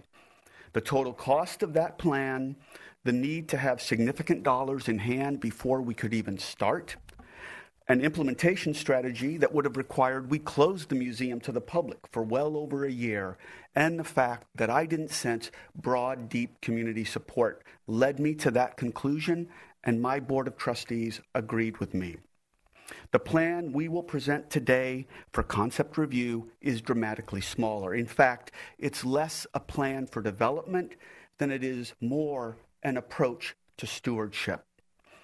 Our approach now will provide absolutely necessary but gentle uplift for our site and its buildings.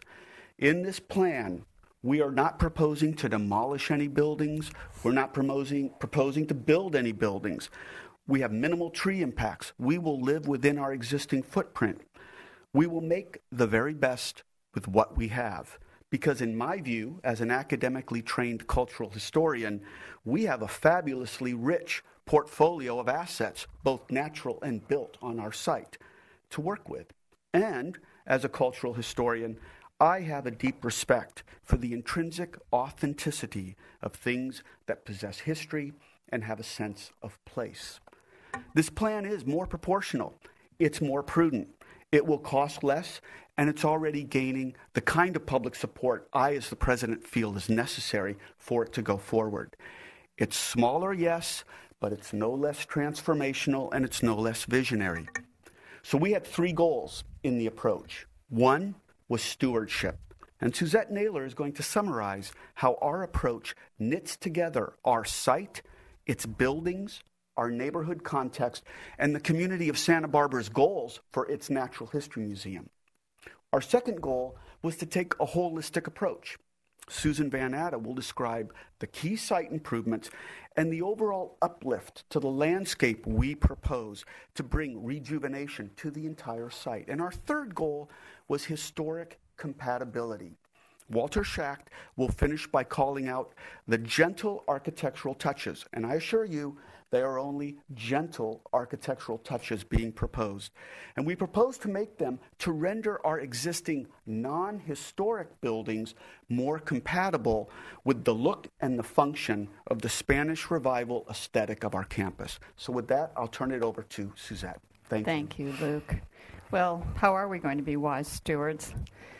We've got an embarrassment of riches, natural and historic. But there are two very relevant documents the historic resource element and the guidelines for EPV. The HRE asks us to ensure Santa Barbara's sense of place by identifying, protecting, preserving, and enhancing our historic resources.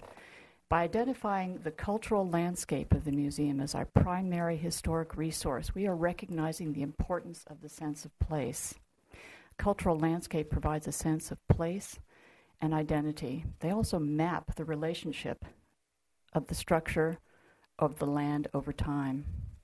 Before we seek to fiddle with that map that we've evolved over these last hundred years since Brewster first put that little courtyard building down, we need to understand the choices of those past hundred years. And with the luxury of hindsight, we're looking at the consequences and the unintended consequences.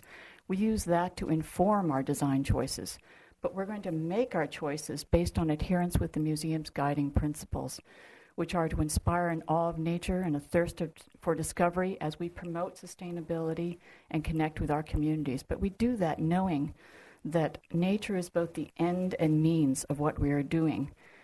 Well, how are we going to incorporate that into what we're doing? We have talked about wayfinding before, but in a sort of practical way. And I'm going to talk about it more in terms of how it works with this. If nature are the ends and means, then when you're on a way or a path, you're talking about direction.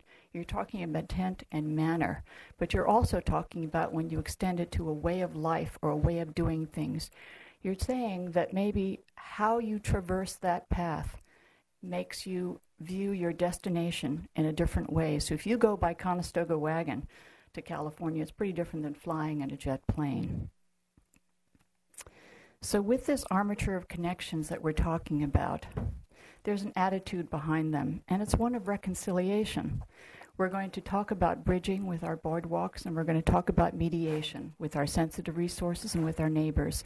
But when we reorient the previous Paleo and Marine Gallery to become the new Santa Barbara Gallery, to face the creek, and when we start to bridge across that spatial discontinuity in order to allow access to the creek, we are now starting to reconcile past choices and unintended consequences of that asphalt with our new understanding of stormwater drainage and environmental sustainability. When we fo- focus on this soft, soft infrastructure, we connect to the tradition of mediation of inside and outside of Spanish colonial revival. We're redefining and enhancing the paseo between the Fleischmann and the creek, and Walter will talk about that. And we're also expanding the repertoire of inside outside mediation. We have that wonderful captured landscape in the interior courtyard of the legacy buildings, where there's a void and there's captured landscape that's created by buildings.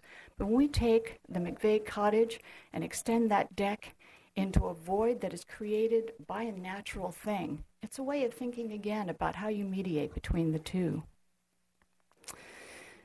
When we link discrete resources with connectors like the whale to the stone wall to the historic entry, which is very important, and when we retain re- views from St. Anthony's to the mountains, and when we enlist previously self contained areas and precincts like the Collections and Resource Center and integrate them into our web of connections, then we're integrating them into a reimagined new community of the Museum of Natural History into the next century. This network, which is fluid and responsive and flexible, also provides a scaffold. We are, as I've tried to say, trying to incorporate our guiding principles in these pathways, but we also want the visitor and the community to stop and start on this connection in the way they wish to. They can have as shallow or as deep an experience of this sense of place and the information we have as they wish. So you can have a little one lift up a leaf and look at a worm, and someone else go into the diorama and the gallery in that stop frame of nature and look at a cutaway section of dirt and see a worm in his burrow and see the bird waiting to eat it. Or you can have someone looking through a worm's eye view through a high powered telescope to the night sky above. By doing this, we enrich our visitor's sense of place not only in the museum but also in the world around us. By doing this, we breathe life into our resources by the breadth and depth of engagement that our community has. By doing this, we begin to protect our resources by ensuring their future. There will be no demolition by neglect because we don't tend to destroy those things that we engage with, that we love and cherish. I'm going to loop back to the guidelines of the EPB district as my last thing. In Chapter 4 on compatibility of new development with existing environment, the Commission, in writing it, and the City, in approving it, recognizes that each project has a unique program, unique site, unique artistic expression and form, but that it must by necessity achieve compatibility with Santa Barbara as it has developed over the years. We hope that you agree that by focusing on what is specifically unique in this project, revealing our evolving relationship with the land around us and the natural world, its relationship to our sense of place, and reinforcing our ties to the community and its history, that the compatibility is close behind. Thank you. Do I use this one? Well, thank you. Yeah, And- we're going to have to actually move that a little bit closer so that we can open the sheets without it being interrupted to you. Go ahead. So, how are we going about doing this? Um, that is, providing an authentic natural history experience where the landscape itself now is part of the museum interpretive experience. Um, providing accessibility throughout, uh, which would be the preferred route for everyone, not directing people out of the way in order to get around in their wheelchair or in, with their stroller. And then having a stormwater management program uh, that is comprehensive and linked and includes permeable paving, which we'll be looking at specifically. So on this sheet that is opened up now, L.1, we uh, have an overall site plan, and uh, then we'll be going to pages where it's blown up a little and easier to see. But along the bottom of the page, we look at the materials that we're proposing, and we worked uh, carefully with Post Hazeltine uh, to incorporate materials that exist on the site already. We avoided using too many different materials, and also the new goal, which is uh, an important goal to the city, is permeability. So we have a series of materials that address that. Um, for, would you like to see the actual materials, or are you happy with the pictures? Okay. Actual material's fine. Yeah. You brought it. I'm not going to not let you do that. I think Walter Thank just you, they're broke his lovely back. That's so-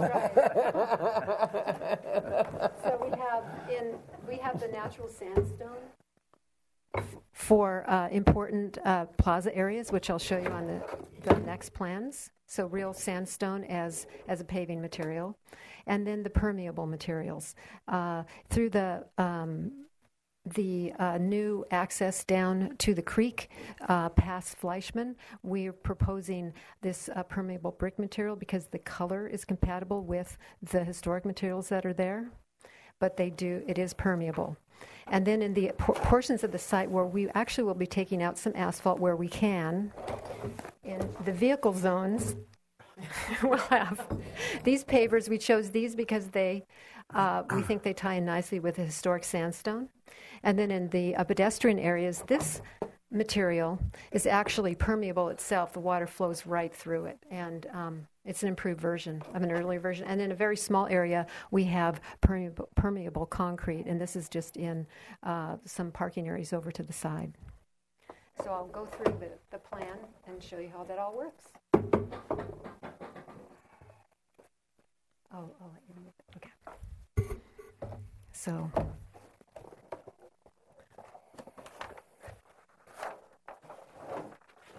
This to be the entrance.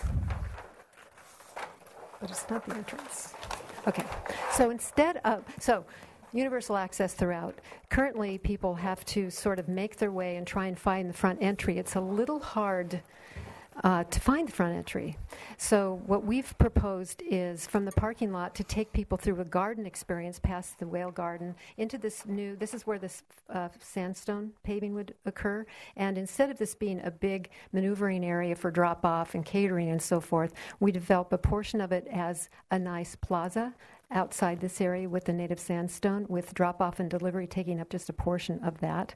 And then a visitor would move along a, a boardwalk, which we selected because it is reversible uh, in the landscape and provides a nice experience and also highlights the entry and a way to get here. Uh, as you saw in the historic report, there's a proposal to open up the steg wall at this point. We chose this location to open up the steg wall because it's already been repaired in that location, and so that's in collaboration with Post Hazeltine. We selected this way to get through. And then we come, and then uh, it's really important to the museum to really reactivate and make the historic entrance very clear. Uh, another feature on this plan is the new universally accessible route to get across through the heart of the campus uh, to a creekside terrace, and th- which then switches over and would get us to the re- back side of the creek. Um, so Currently, this is a lot of different elevations. There's a big pit over on the side, which will be mitigated, which Walter will talk about. And we're proposing the red brick, which interestingly didn't print as red in, in this plan. But this is the, the red brick to tie in with the existing paving here and also the paving that goes underneath the arcade, so it's all red. Then we come into the Creekside Terrace, and we've had a discussion of the idea that the, this wood material would help to transition from the built environment to the more natural environment, but it also uh, we, we've been told, previously we came to you with a plan that showed removing the asphalt here, and then later we found out we weren't going to be allowed to remove it. The engineers did not want it removed because they didn't want permeability back here. They wanted the capped site, so there'd be no additional pressure on this old wall that holds up the side of the creek. And then the arborists didn't want us disturbing the root zone of trees. So, in order to span all that, this in essence is, is a bridge of sorts, but it is also reversible. Um, as are the boardwalks that occur on the site. So a person could come in here, uh, enjoy this terrace, all very flat and accessible, and then we actually have an additional experience as you come at grade and you wrap around a trail and then are able to get over to the Coggin Shell Ball where there is an existing ethnobotany garden which is being enhanced with a Chumash interpretive exhibit.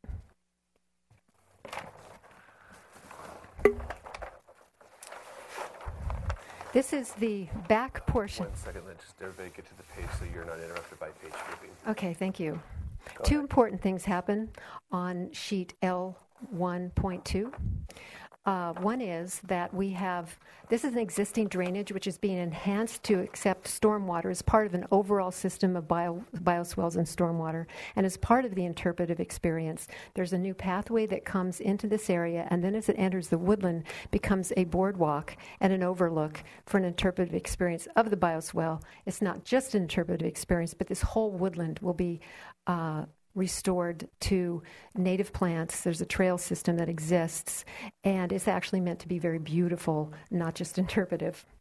And in this, these are it's in these back areas, and I actually have a, a copy of the plan where, for some reason, the color differences didn't print as well on this plan. But it's in this uh, area that we would use the pavers that I showed that were sandstone colored but were vehicular occur in these back areas. These are sort of the service areas to the site. This little parking lot over to the side is where the permeable uh, concrete is proposed to occur. It's the only location. And um, this is where the trash will be moved so that no backup is required. Currently, um, the, the um, remind me where the trash is now. It's through, it's no, th- yeah, it's way in here. So when the truck comes now, it, the beep, beep, beep, beep is this whole distance backing up. Now they just circle around, no backing up, and the trash, they can pick up the trash at this location, which is already tucked into the landscape and you can't see it, but of course we will screen it. Um, and then the other really fun thing about the project is the enhanced, what we call the backyard. And uh, there is uh, currently an artificial creek here that I'm, I'm given to understand was created because the biologists didn't want kids playing in the real creek. And we're enhancing this for universal access. We're adding an island and making it more fun. And we're taking other uses um, like uh, the fort building and the paleo exhibit, and we're bringing it all into this very family oriented outdoor um, Last Child in the Woods in, um, influenced area. And this clubhouse has become a clubhouse with wonderful exhibits and fun stuff for kids to do, like uh, playing with insects and, and worms and things. There, uh, a, a, deck also runs through this area. Again, it's protective of the existing oak trees and is reversible and uh, allows families with strollers to get into here easily. And then it comes and terminates uh, around a tree, which sets high above the creek and creates the treehouse like feeling that's accessible to all children. And then finally, call, call off the page, please. We're at sheet final A5. page. So it's the final page of your set. This is A5.12, last page. before and after One photos. second. Okay. Okay, go ahead. Okay. So currently, there's a curb and asphalt that separate the butterfly exhibit, which is in a, Qu- a Quonset hut form uh, with green netting. Uh, and this railing isn't actually necessary required. So you can see in the after photo, the idea behind the butterfly exhibit is that you feel like you're outdoors. Um, that we're bringing the feeling of Mission Creek all across the site until it um, and, and embraces this new butterfly garden with a backdrop of sandstone walls, sandstone structures with wrought iron that takes its influence from the historic building. And um, the, these, uh, what apparently are lightning rods um, of structures, these are actually designed to be as lightweight as they can be. Uh, we worked with the um, uh, structural engineer to make these as lightweight. And the idea behind these really is that they be subordinate to the setting, and that they uh, be there, and that the netting, in fact, is ephemeral. So let's go to back to the plan and.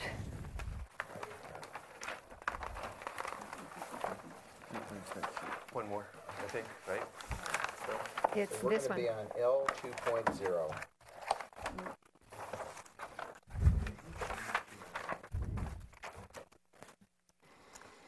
And I have a larger version of this if it's helpful. That's this correct. Yep. Everybody's got the red sheet. Okay. Continue. Okay. So in plan, you can see that we take the same feeling of the existing boulders uh, and bring it across so it's very informal. It feels very much like a garden. It just happens to need to be enclosed to keep the butterflies in. And these little garden structures made out of sandstone uh, are necessary to get people in and out of the exhibit and not um, uh, without the butterflies leaving with them. It, the butterflies need um, to drink. So there's this, in addition to this um, backdrop sandstone wall, there's a wall fountain which you can see here too, and a runnel that gives the butterflies a lot of access to drinking water that overflow into these boulders. So it's, I'm assuming it's water. it's water that they're drinking. We all could use a drink right now, but Yes. uh, but the butterflies will be drinking water. So, um, so this is so this is really meant to feel like a, like the landscape, and that's why they let the landscape architect design it. And uh, so there are other. I'd be happy to go other, with over more details of the. Maybe you could use this one for the elevations. This one's a little easier to see, which, uh, and then there's uh, ano- anyway. But I'm way past my allocated time. But um, I'm figuring you'll have questions for me, and uh, Walter will wrap it up. Thank you. So let's spend a couple of minutes looking at the proposed scope for uh, improvements to the existing buildings. Um, I want to reiterate what Luke said. Um, on sheet 82.23. um, AD 2. Point two three.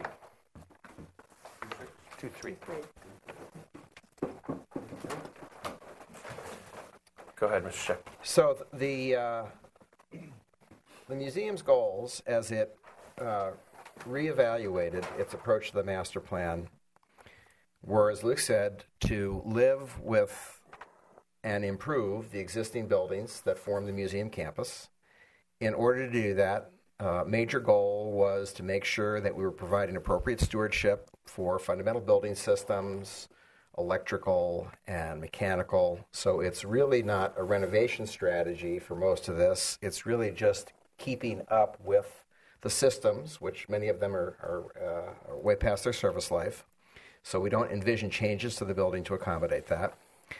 Secondly, um, the vast majority of the spaces that we're dealing with here are really great museum spaces, and they have been treasured, as you all know, by the community for many years. But they could use very modest improvements, tenant improvements, uh, in the form of paint, improved flooring, uh, better signage, and maybe some addition to the exhibits.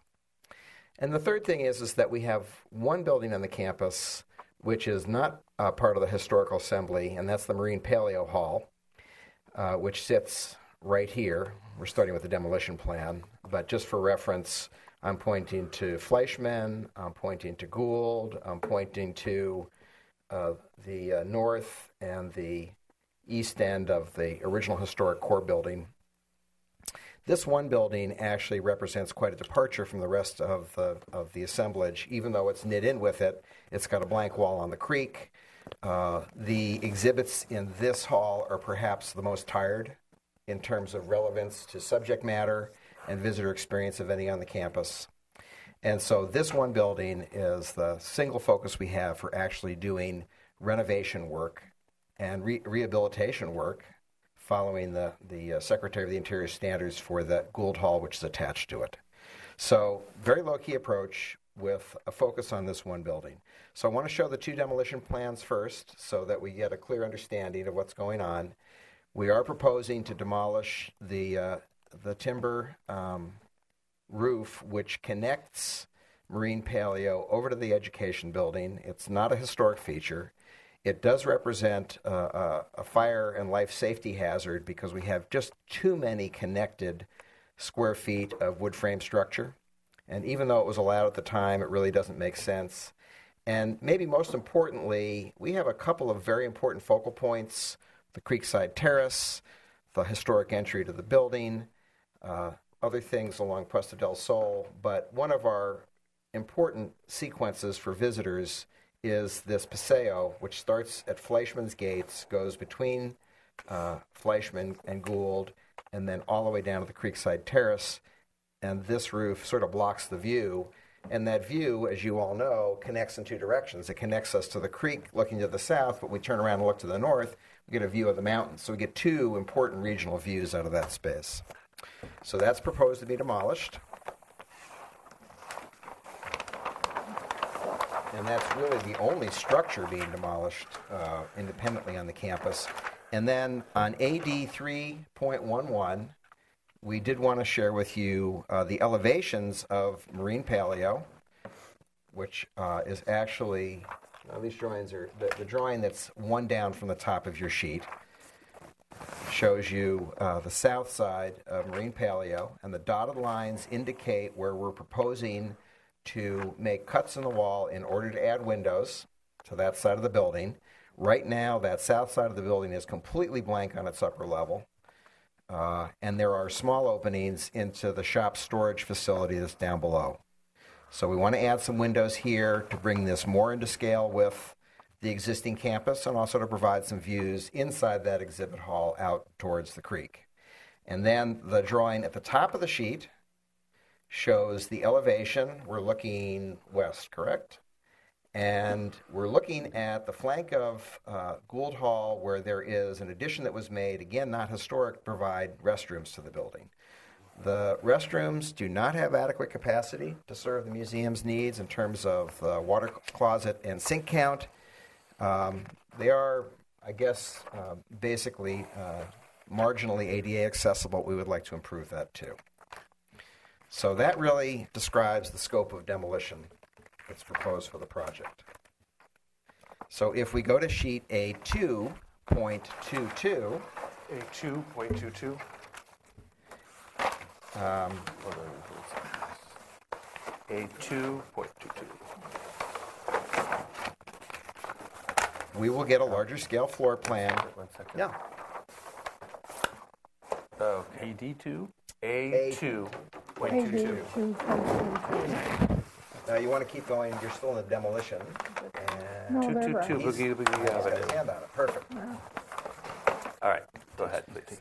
This now shows what's being proposed in the same area. So if we start at the top of the sheet, um, we are um, seeing where the historic gates are for Fleischmann, and we're seeing the length of this paseo all the way down to the bottom where the Creekside Terrace shows.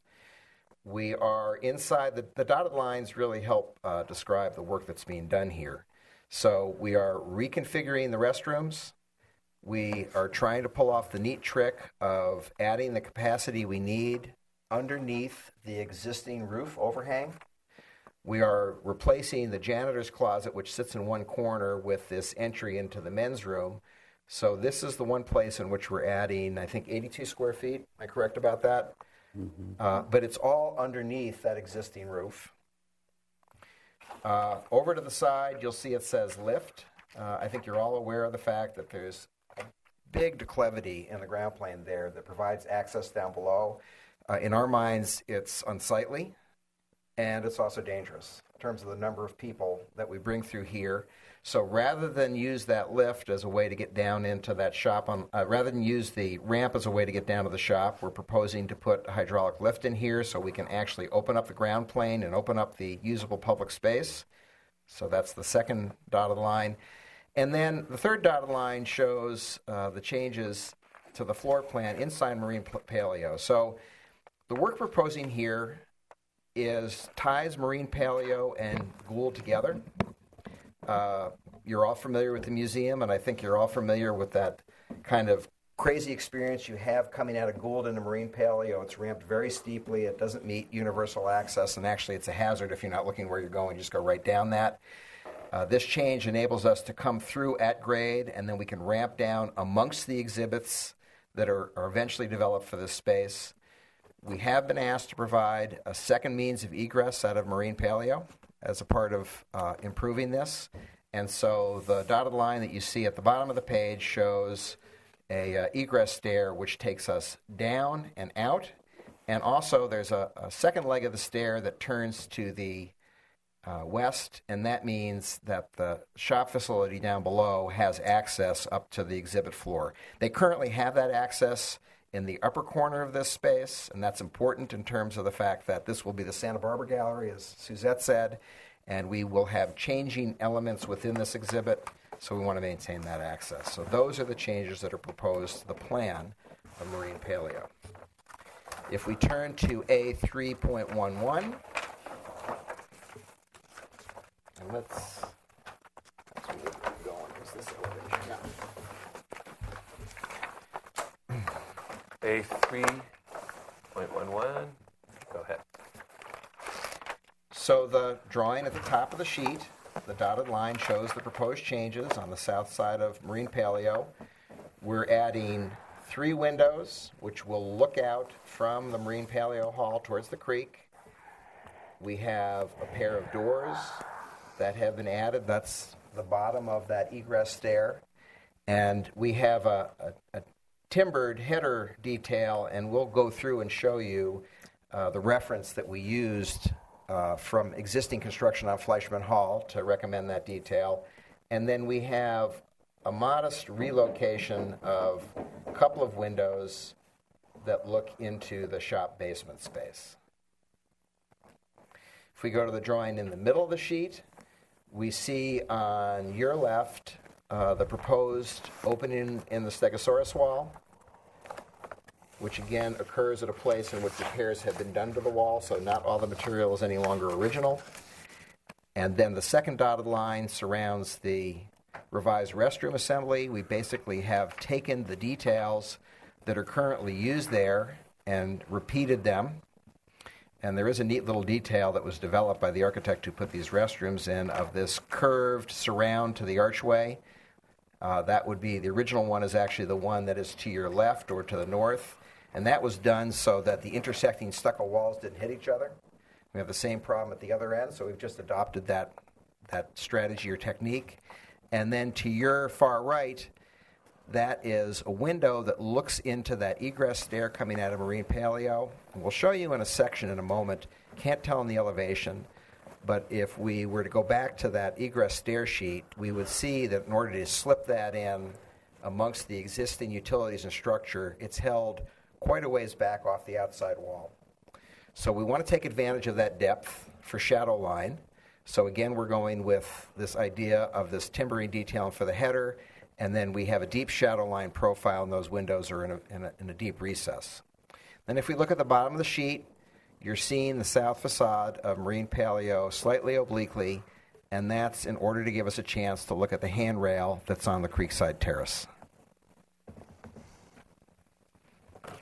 If we flip to three, two, one.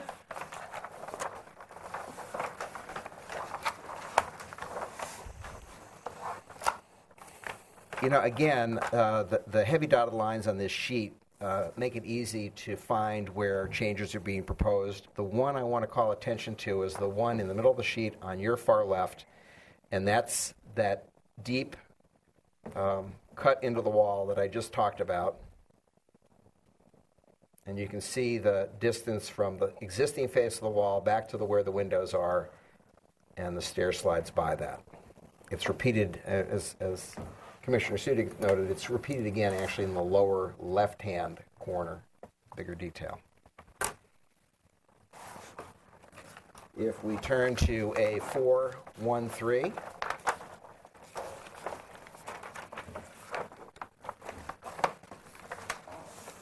this sheet represents larger uh, plans and elevations of the areas that we're discussing. And actually, the stippling on the elevation gives a clue as to where we're infilling existing openings in order to create the new openings. I guess one I would call attention to is in the upper left of the sheet, it says enlarged west elevation marine paleo. There is, as you know, the doorway that provides egress out of marine paleo now that's, that, that is on a very, very steep ramp. And that ramp is not accessible, and the deformation of the landscape, deformation of the landscape, is what leads to us not having barrier free access all the way down to the creek. And so the proposal is to put this window in its place and, and do the egress to the south that we're talking about instead. In the middle of the sheet, you see two photographs from Fleischmann with red lines on them, and that just directs our attention to the uh, timber detail that we've adopted for the use over the two openings, the two large openings, the double windows on the west side, and then the, the door that's at the bottom of the egress stair. And then finally,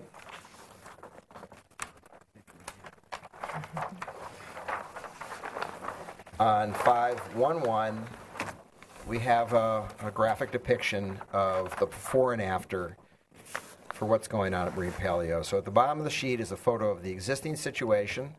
You see the blank wall. Obviously, the photo doesn't really reveal the the uh, this huge swale that's in the landscape that the Creekside Terrace uh, helps to resolve. Um, but it does show the blank wall. When we look above, we see the new windows. We see the Creekside Terrace. And then we do get a sense that we're now able to look all the way up and see the Fleischmann Gates from this location. So that covers um, broad presentation of the architecture. Mr. Chair, that concludes our presentation. Thank you for indulging us. Um, we really do look forward to your comments and to your consideration of project compatibility. Okay, 40 minutes. All right, so, um, but it was Not important bad, to not hear it bad. all, and that's why I allowed it. So, I'm going to open public comment. I have two speaker slips. I appreciate the public waiting to make their speech. First is Virginia Guess, followed by Elizabeth Fowler.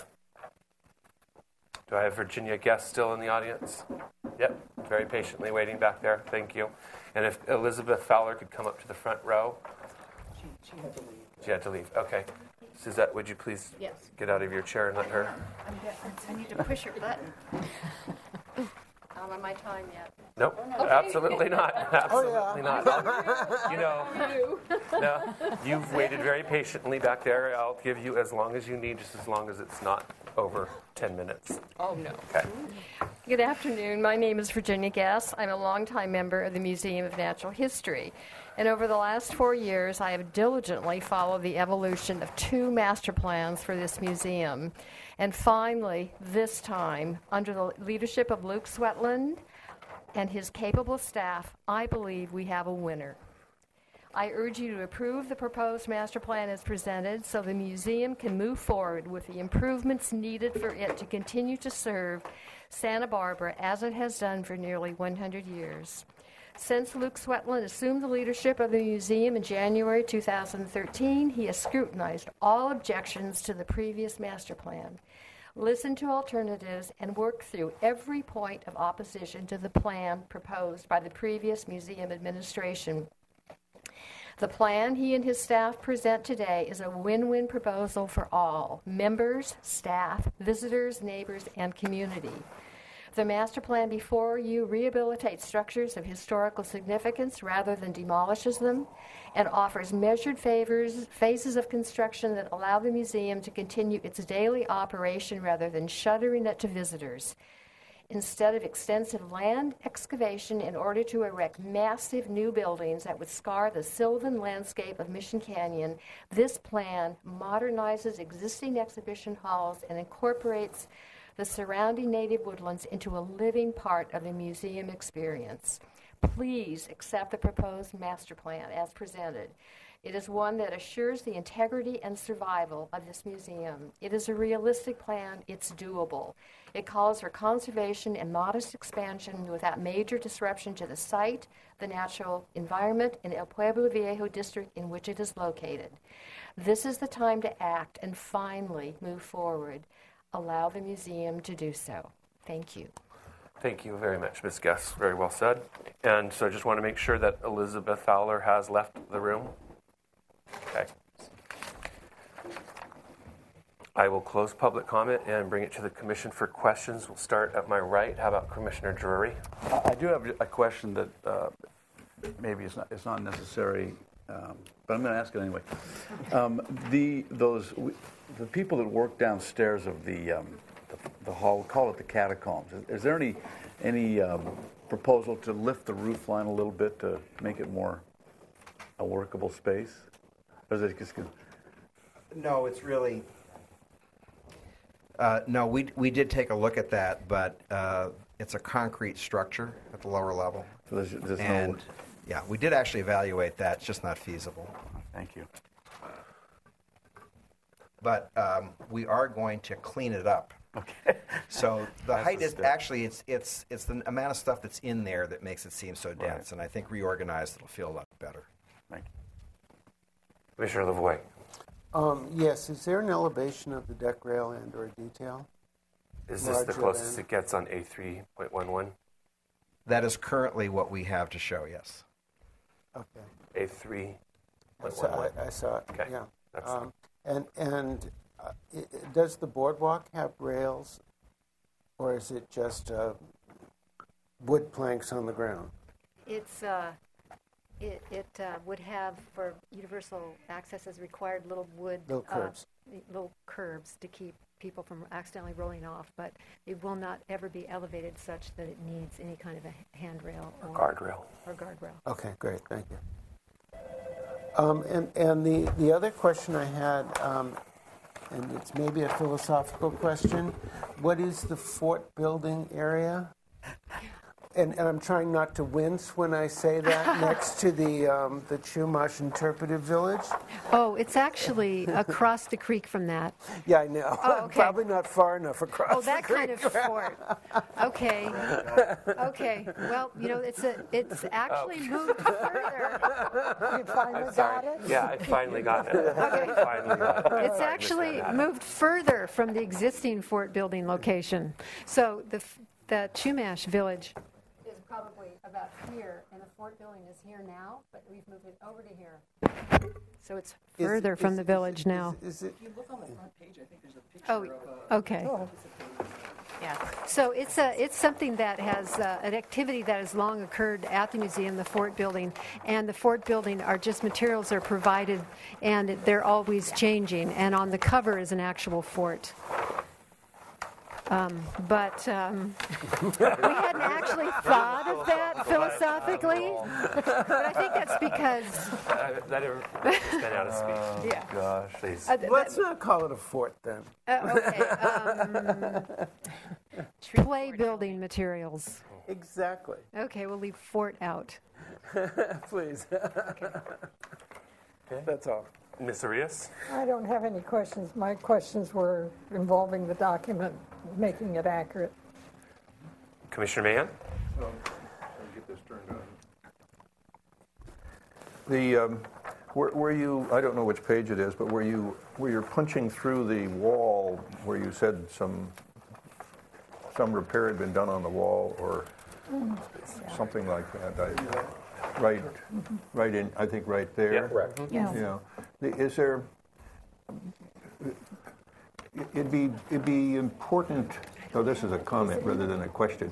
Can we, can we find a, an example where there's another uh, of access through the wall and maybe be, study the sensitivity to how that is done rather than just have a space through the wall? Maybe, maybe there's something more important happening. And, and when you're walking by the whale and you're coming to that, this is a comment, not a, anyway. The question, the question is, the question is, is there, is there, a, is there a, an existing uh, uh, opening in the, in the wall and is there an existing opening in the wall? Yes, there is. I can see there is. Oh, at the front entrance. There, there, there is. I'd like to see a picture of that so that we can compare how that, how this other thing is going to Right. work. And so is it is it in the historic report?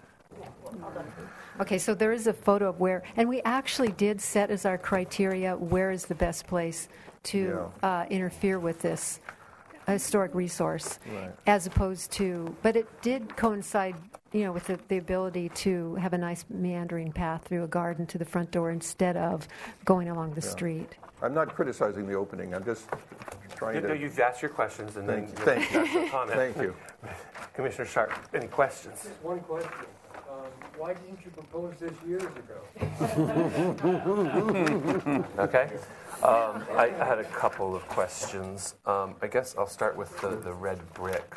Um, how, how is that red brick um, permeable? Is it permeable through its crack, through its um, joints, or is it permeable as in flow through? The red brick has the little uh, The- tabs on the edges. The lugs. So that's that's what makes it permeable. Mhm. Okay. Um, the other um, paver that you have that you showed that's a flow through paver, Mhm. it's probably HydroFlow or some other. Can you see that? Yeah. Uh, is is that the ceramic one? This is ceramic, It's and this is an improved version. They're no longer cracking on shipment. Right. It's uh, there was a version before that uh, didn't perform well, Right. and this is the improved improved version. I guess they good to used that at UCSB. Yeah. Yeah. Are you familiar with that? Oh yeah. Yes. Big time. That's why I specifically mentioned it because I knew you would know. Okay. Um, a lot of problems with that original, but I'm glad to know that they've improved. Right. Um, did you study any other connection material between this sort of arrival plaza and where you go through, enter the museum? Um, you mentioned that you chose the wood boardwalk Mhm. because it's reversible. Um, but is there something prohibiting you or holding you back from doing a different type of material, perhaps the same material that's here, so that the wayfinding does continue? It- it- the grading and the uh, tree impacts. So Yeah, we it- were avoiding impacts to the existing trees in that area, and just that it's it's quite uneven. So there would be quite a bit of fill and alteration in that area. So it Right. was minimizing alteration was the Right. criteria. Okay. Um, that's it with my questions. Commissioner Reese, you had another, or you had a question? um, we had a previous applicant, I don't think you were in the room, but there was a lot of discussion about um, accessibility for the handicapped. And that where there is a main entrance, you have to have accessibility. Are you aware of the changes in the rules that evidently been within six months and may also have to affect on your plans? I Let me don't see- know. Let me see, I yeah, don't know see the if I can answer. answer that question. Yeah, Um, go. I, I, I think that those rules apply to new structures, um, ground up new. Um, also, we can apply, I believe, the historic building code to Okay, this building. good. So Okay. we're not going to have the same problems All that right, we good. I just don't want to see any Right. problems that you find all of a sudden. Right, okay, and you don't need to be concerned with that too much unless um, you get to the building department and you get dinged, but I don't think you will. Um, It's a, it's a moving target. One, yeah, one more question. The existing pavement here, what is that? It is a red tile. So it's similar, uh, is that it there? Yes, and it's staying. Right. It's stained, and it it it matches the uh, scored red concrete that's underneath the arcade. Okay, you're abutting the brick to that. Right, and the idea was to um, that did come from the historians that they felt that the way to be compatible and have it be permeable would be that the color be the same. And I think based on Banding, the uh, sandstone banding around the uh, Re- Franklin courtyard. remains, right? So there was actually be the uh, sandstone Banding. banding.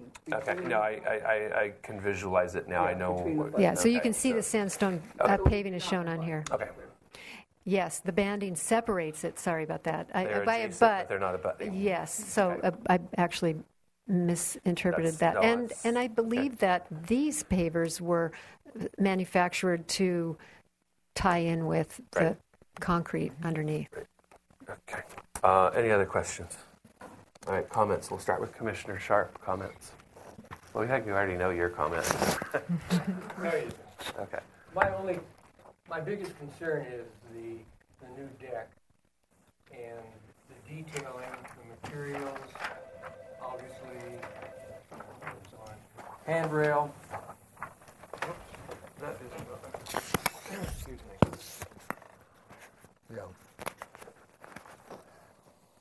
The deck handrail, how to hide the existing asphalt to remain under there. And that, that's sort of the centerpiece of, of what you're adding because it's so foreign to what is currently to be matched in all ways for the rest of the campus. So I'm going to be concerned about that.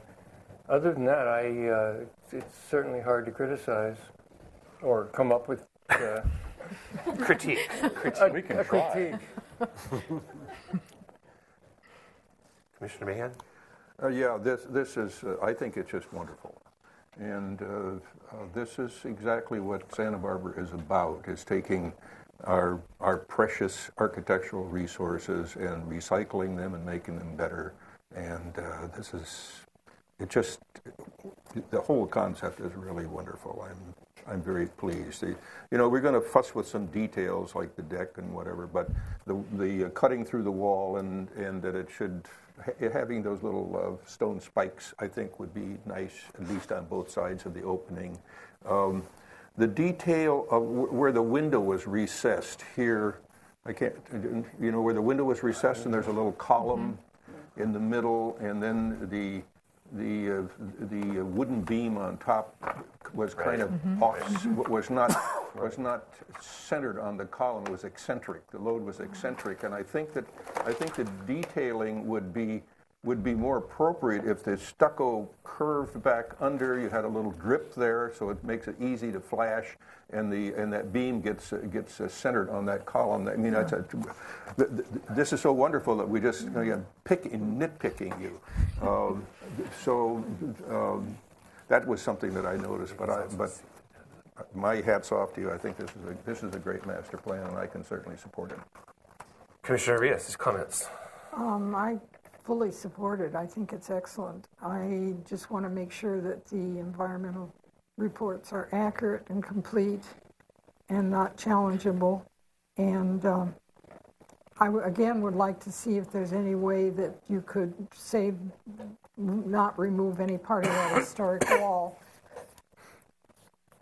Uh, let's see, is there anything else? That's it. I just, I think it's great.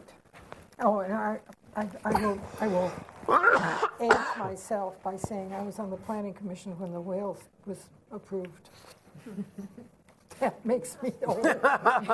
Say when the whale was born. No, when it was approved in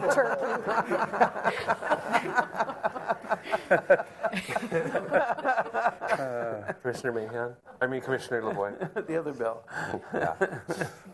um, uh, I'll, I'll echo the commendation. Thank you for the strength and the fortitude and the wisdom for dialing this way back and um, being a better steward of what is there, and both environmentally and structurally and historically. Thank you so much. Um, again, um, with the other commissioners, uh, my comments are about the minute details of, of what's being proposed, um, not not the scope. I fully support your new direction in the master plan, um, and can make the all of the findings that one needs to make uh, in, in, this day and age to support your project and let you go ahead. Um, the I, I share um, the concern about what the deck looks like, uh, and as you heard my comments to the historical report, I'd probably be more comfortable if it was on the ground and looked like part of the site more than a deck. To me, the introduction of a deck in that environment is, is like this is an alien feature to my experience of, of the site. Um, I'm glad to see the asphalt go away, though. Um, very happy to see the asphalt go away. Well, it doesn't really go away, it just gets buried. Well, it's fine. Well, it it visually goes Yeah. away.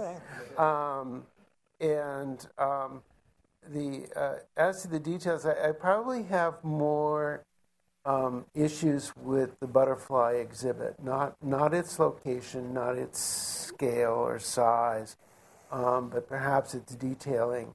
Um, the um, the sandstone arches as an entry element um, are a little modern, but I think that's fine. Um, there was a comment in the report about you know the graphics of showing that it's really built out of sandstone as opposed to a veneer applied that has nothing to do with structure. Um, and I trust as the drawings get developed, they'll be finessing that. Um, the um, and, and I like the fact that once you're inside there, it's a very natural environment, um, and that it sort of bleeds out to its surroundings.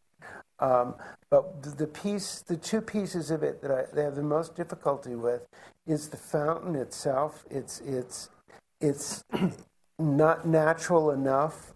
It's or it's not Hispanic enough, and and I probably would prefer it being more natural looking than Hispanic looking, because what you're doing there is a natural sort of environment, and I find that very modern, lovely fountain but inappropriate to the surroundings or the architecture or the intent of everything else you do. And then, having said that, well, part of, uh, I mean, probably my major objection are, are the, the, the metal tree forms. Um, it's not a tree form that one finds on the site. It's not an oak tree form. Um, and I find those six sticking up, and they look like 3D models that you buy of, of trees, and you know, and and they they just don't look like trees. That I'd rather they not try to look like trees. Um, that they look like what they are, a support. Uh, that maybe there's a little bit of detailing that that is evocative of Spanish poles or something. Um, I, I'd be much more comfortable with.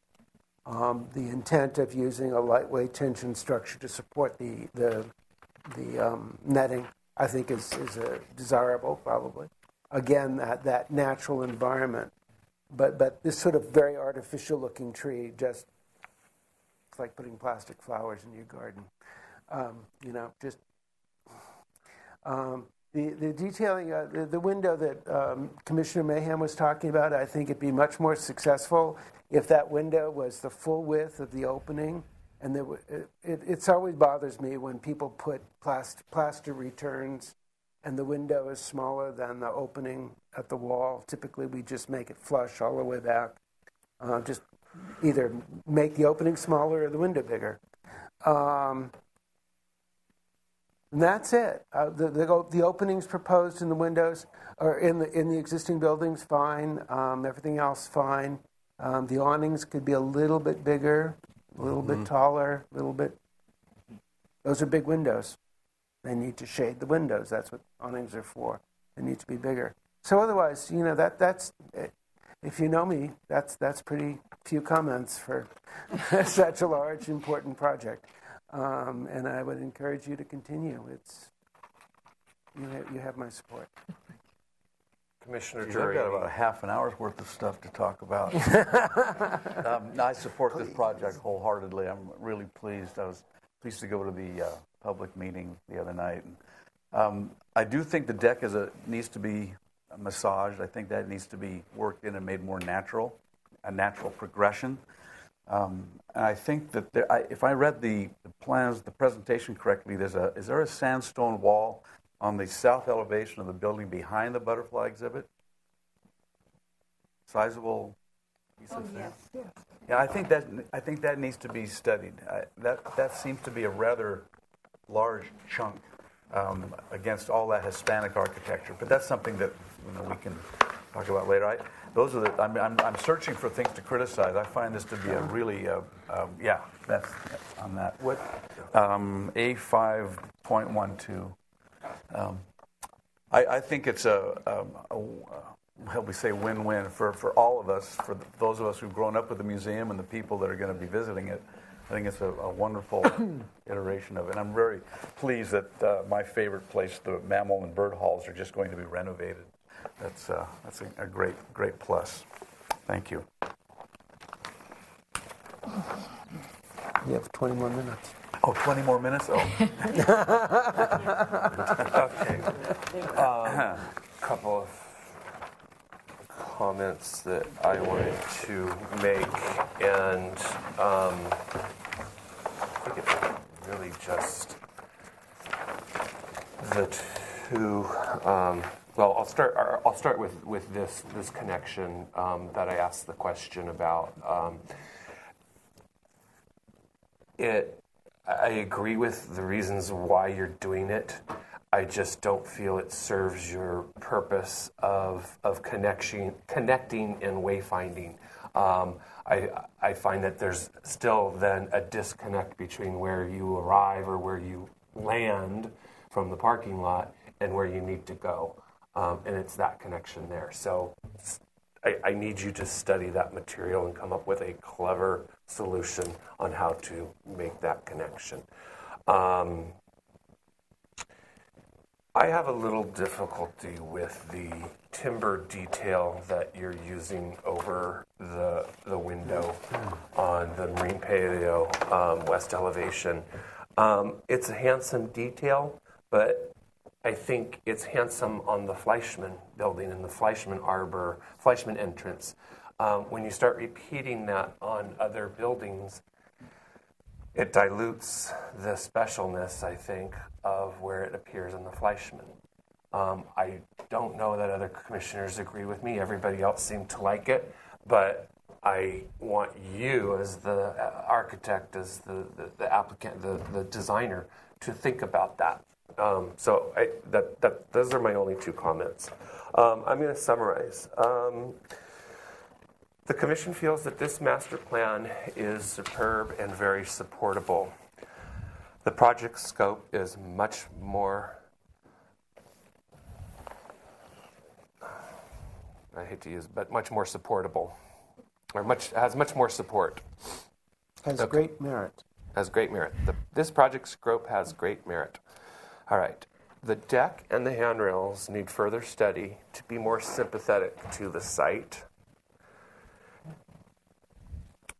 Details of the butterfly exhibit need further development. For instance, the sandstone entry and exit structures.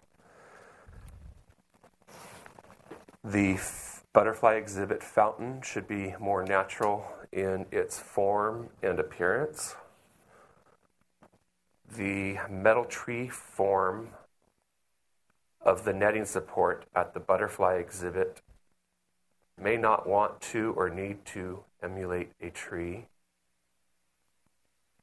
Study the new window on the Marine Patio west elevation to be a bit more traditional in its size and composition. The awnings should be larger. Study the sandstone wall north of the butterfly exhibit on sheet A5.12. It may need to be more sympathetic to the Spanish building behind. And study the connection of the delivery drop off area to the main entrance through the Stegosaurus wall. Study the treatment of the penetration of the Stegosaurus wall.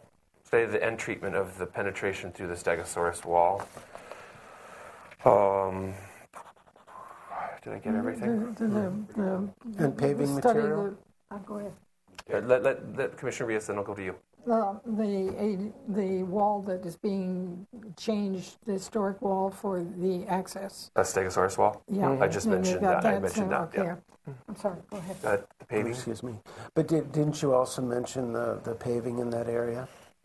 As, as Um, the, I, I, I talked about no, the, no, no, no. The, the paving at the through the wall. The, I, the I did. connection. I said the study of the connection of the um, delivery drop-off area to the entrance, including the paving material. Okay. It said Yes. um, deck and handrails need further study to be more sympathetic to the site. Damn, I'm good. I would, yeah, yeah. I would like to add one comment saying that, that this is a very, very important project to the residents of the city of Santa Barbara as well as all the people who will come and visit this site and that the Landmarks Commission wishes to be involved and informed and kept abreast as things progress. Um, we want to know because if something goes wrong and we're going to hear about it, the phone rings a lot. so we want it really to be a successful project. And working with our historian and with the commission is the best way to achieve that. Do you want that comment to be part? I would appreciate Okay. it if it would. Can you get? Did you get the gist of that comment, Ms. Feliciano?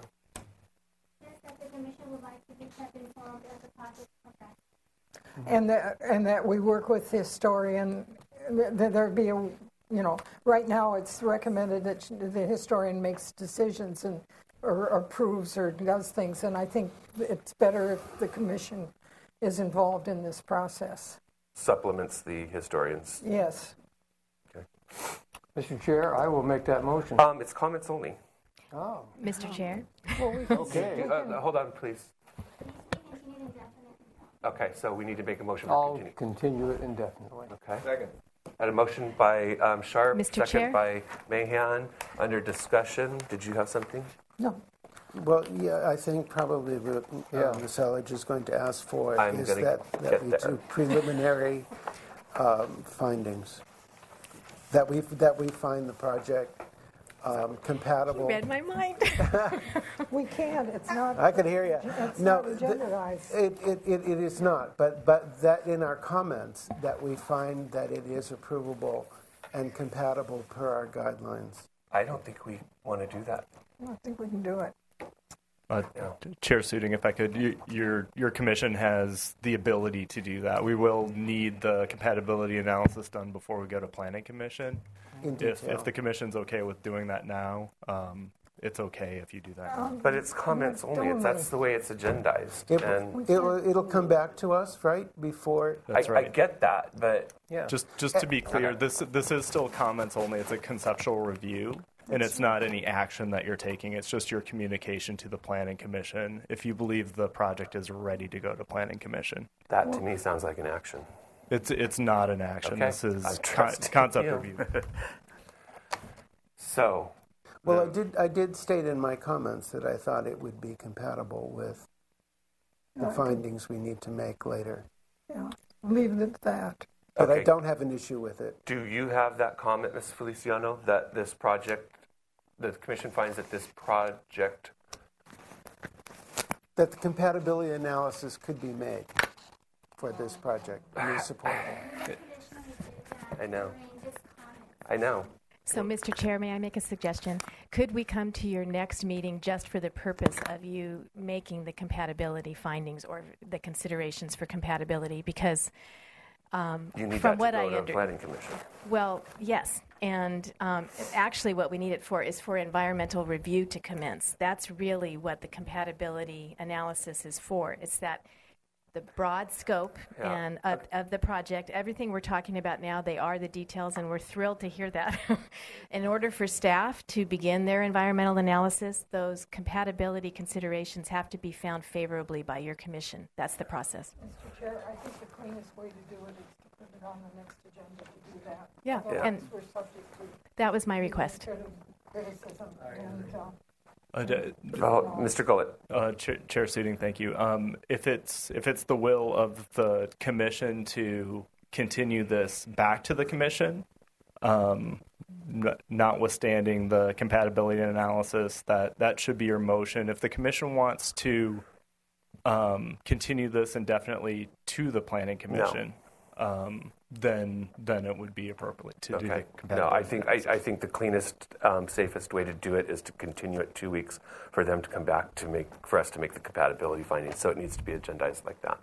Okay, um, we does, would recommend that it be first on the agenda. I will amend my motion to uh, have this project come back to our next meeting in two weeks. Could we ask that it be placed first on the agenda? First on the agenda. First on the agenda. yeah. Thank we, you. we could, we can ask, I don't know. And Mr. Um, and the seconder of the motion is okay with it. Um, I'm going to allow you like 10 seconds because I got to call a question. I just want to know what kind of presentation, if any, you would like, or if we just come before you to have you make the findings. Just come before us to make Thank the you. findings. Right? Everybody okay with Yeah. that? All right. All in favor? Aye. Aye. Opposed? Abstain? Motion carries. Meeting adjourned. Thank Our sincere thanks.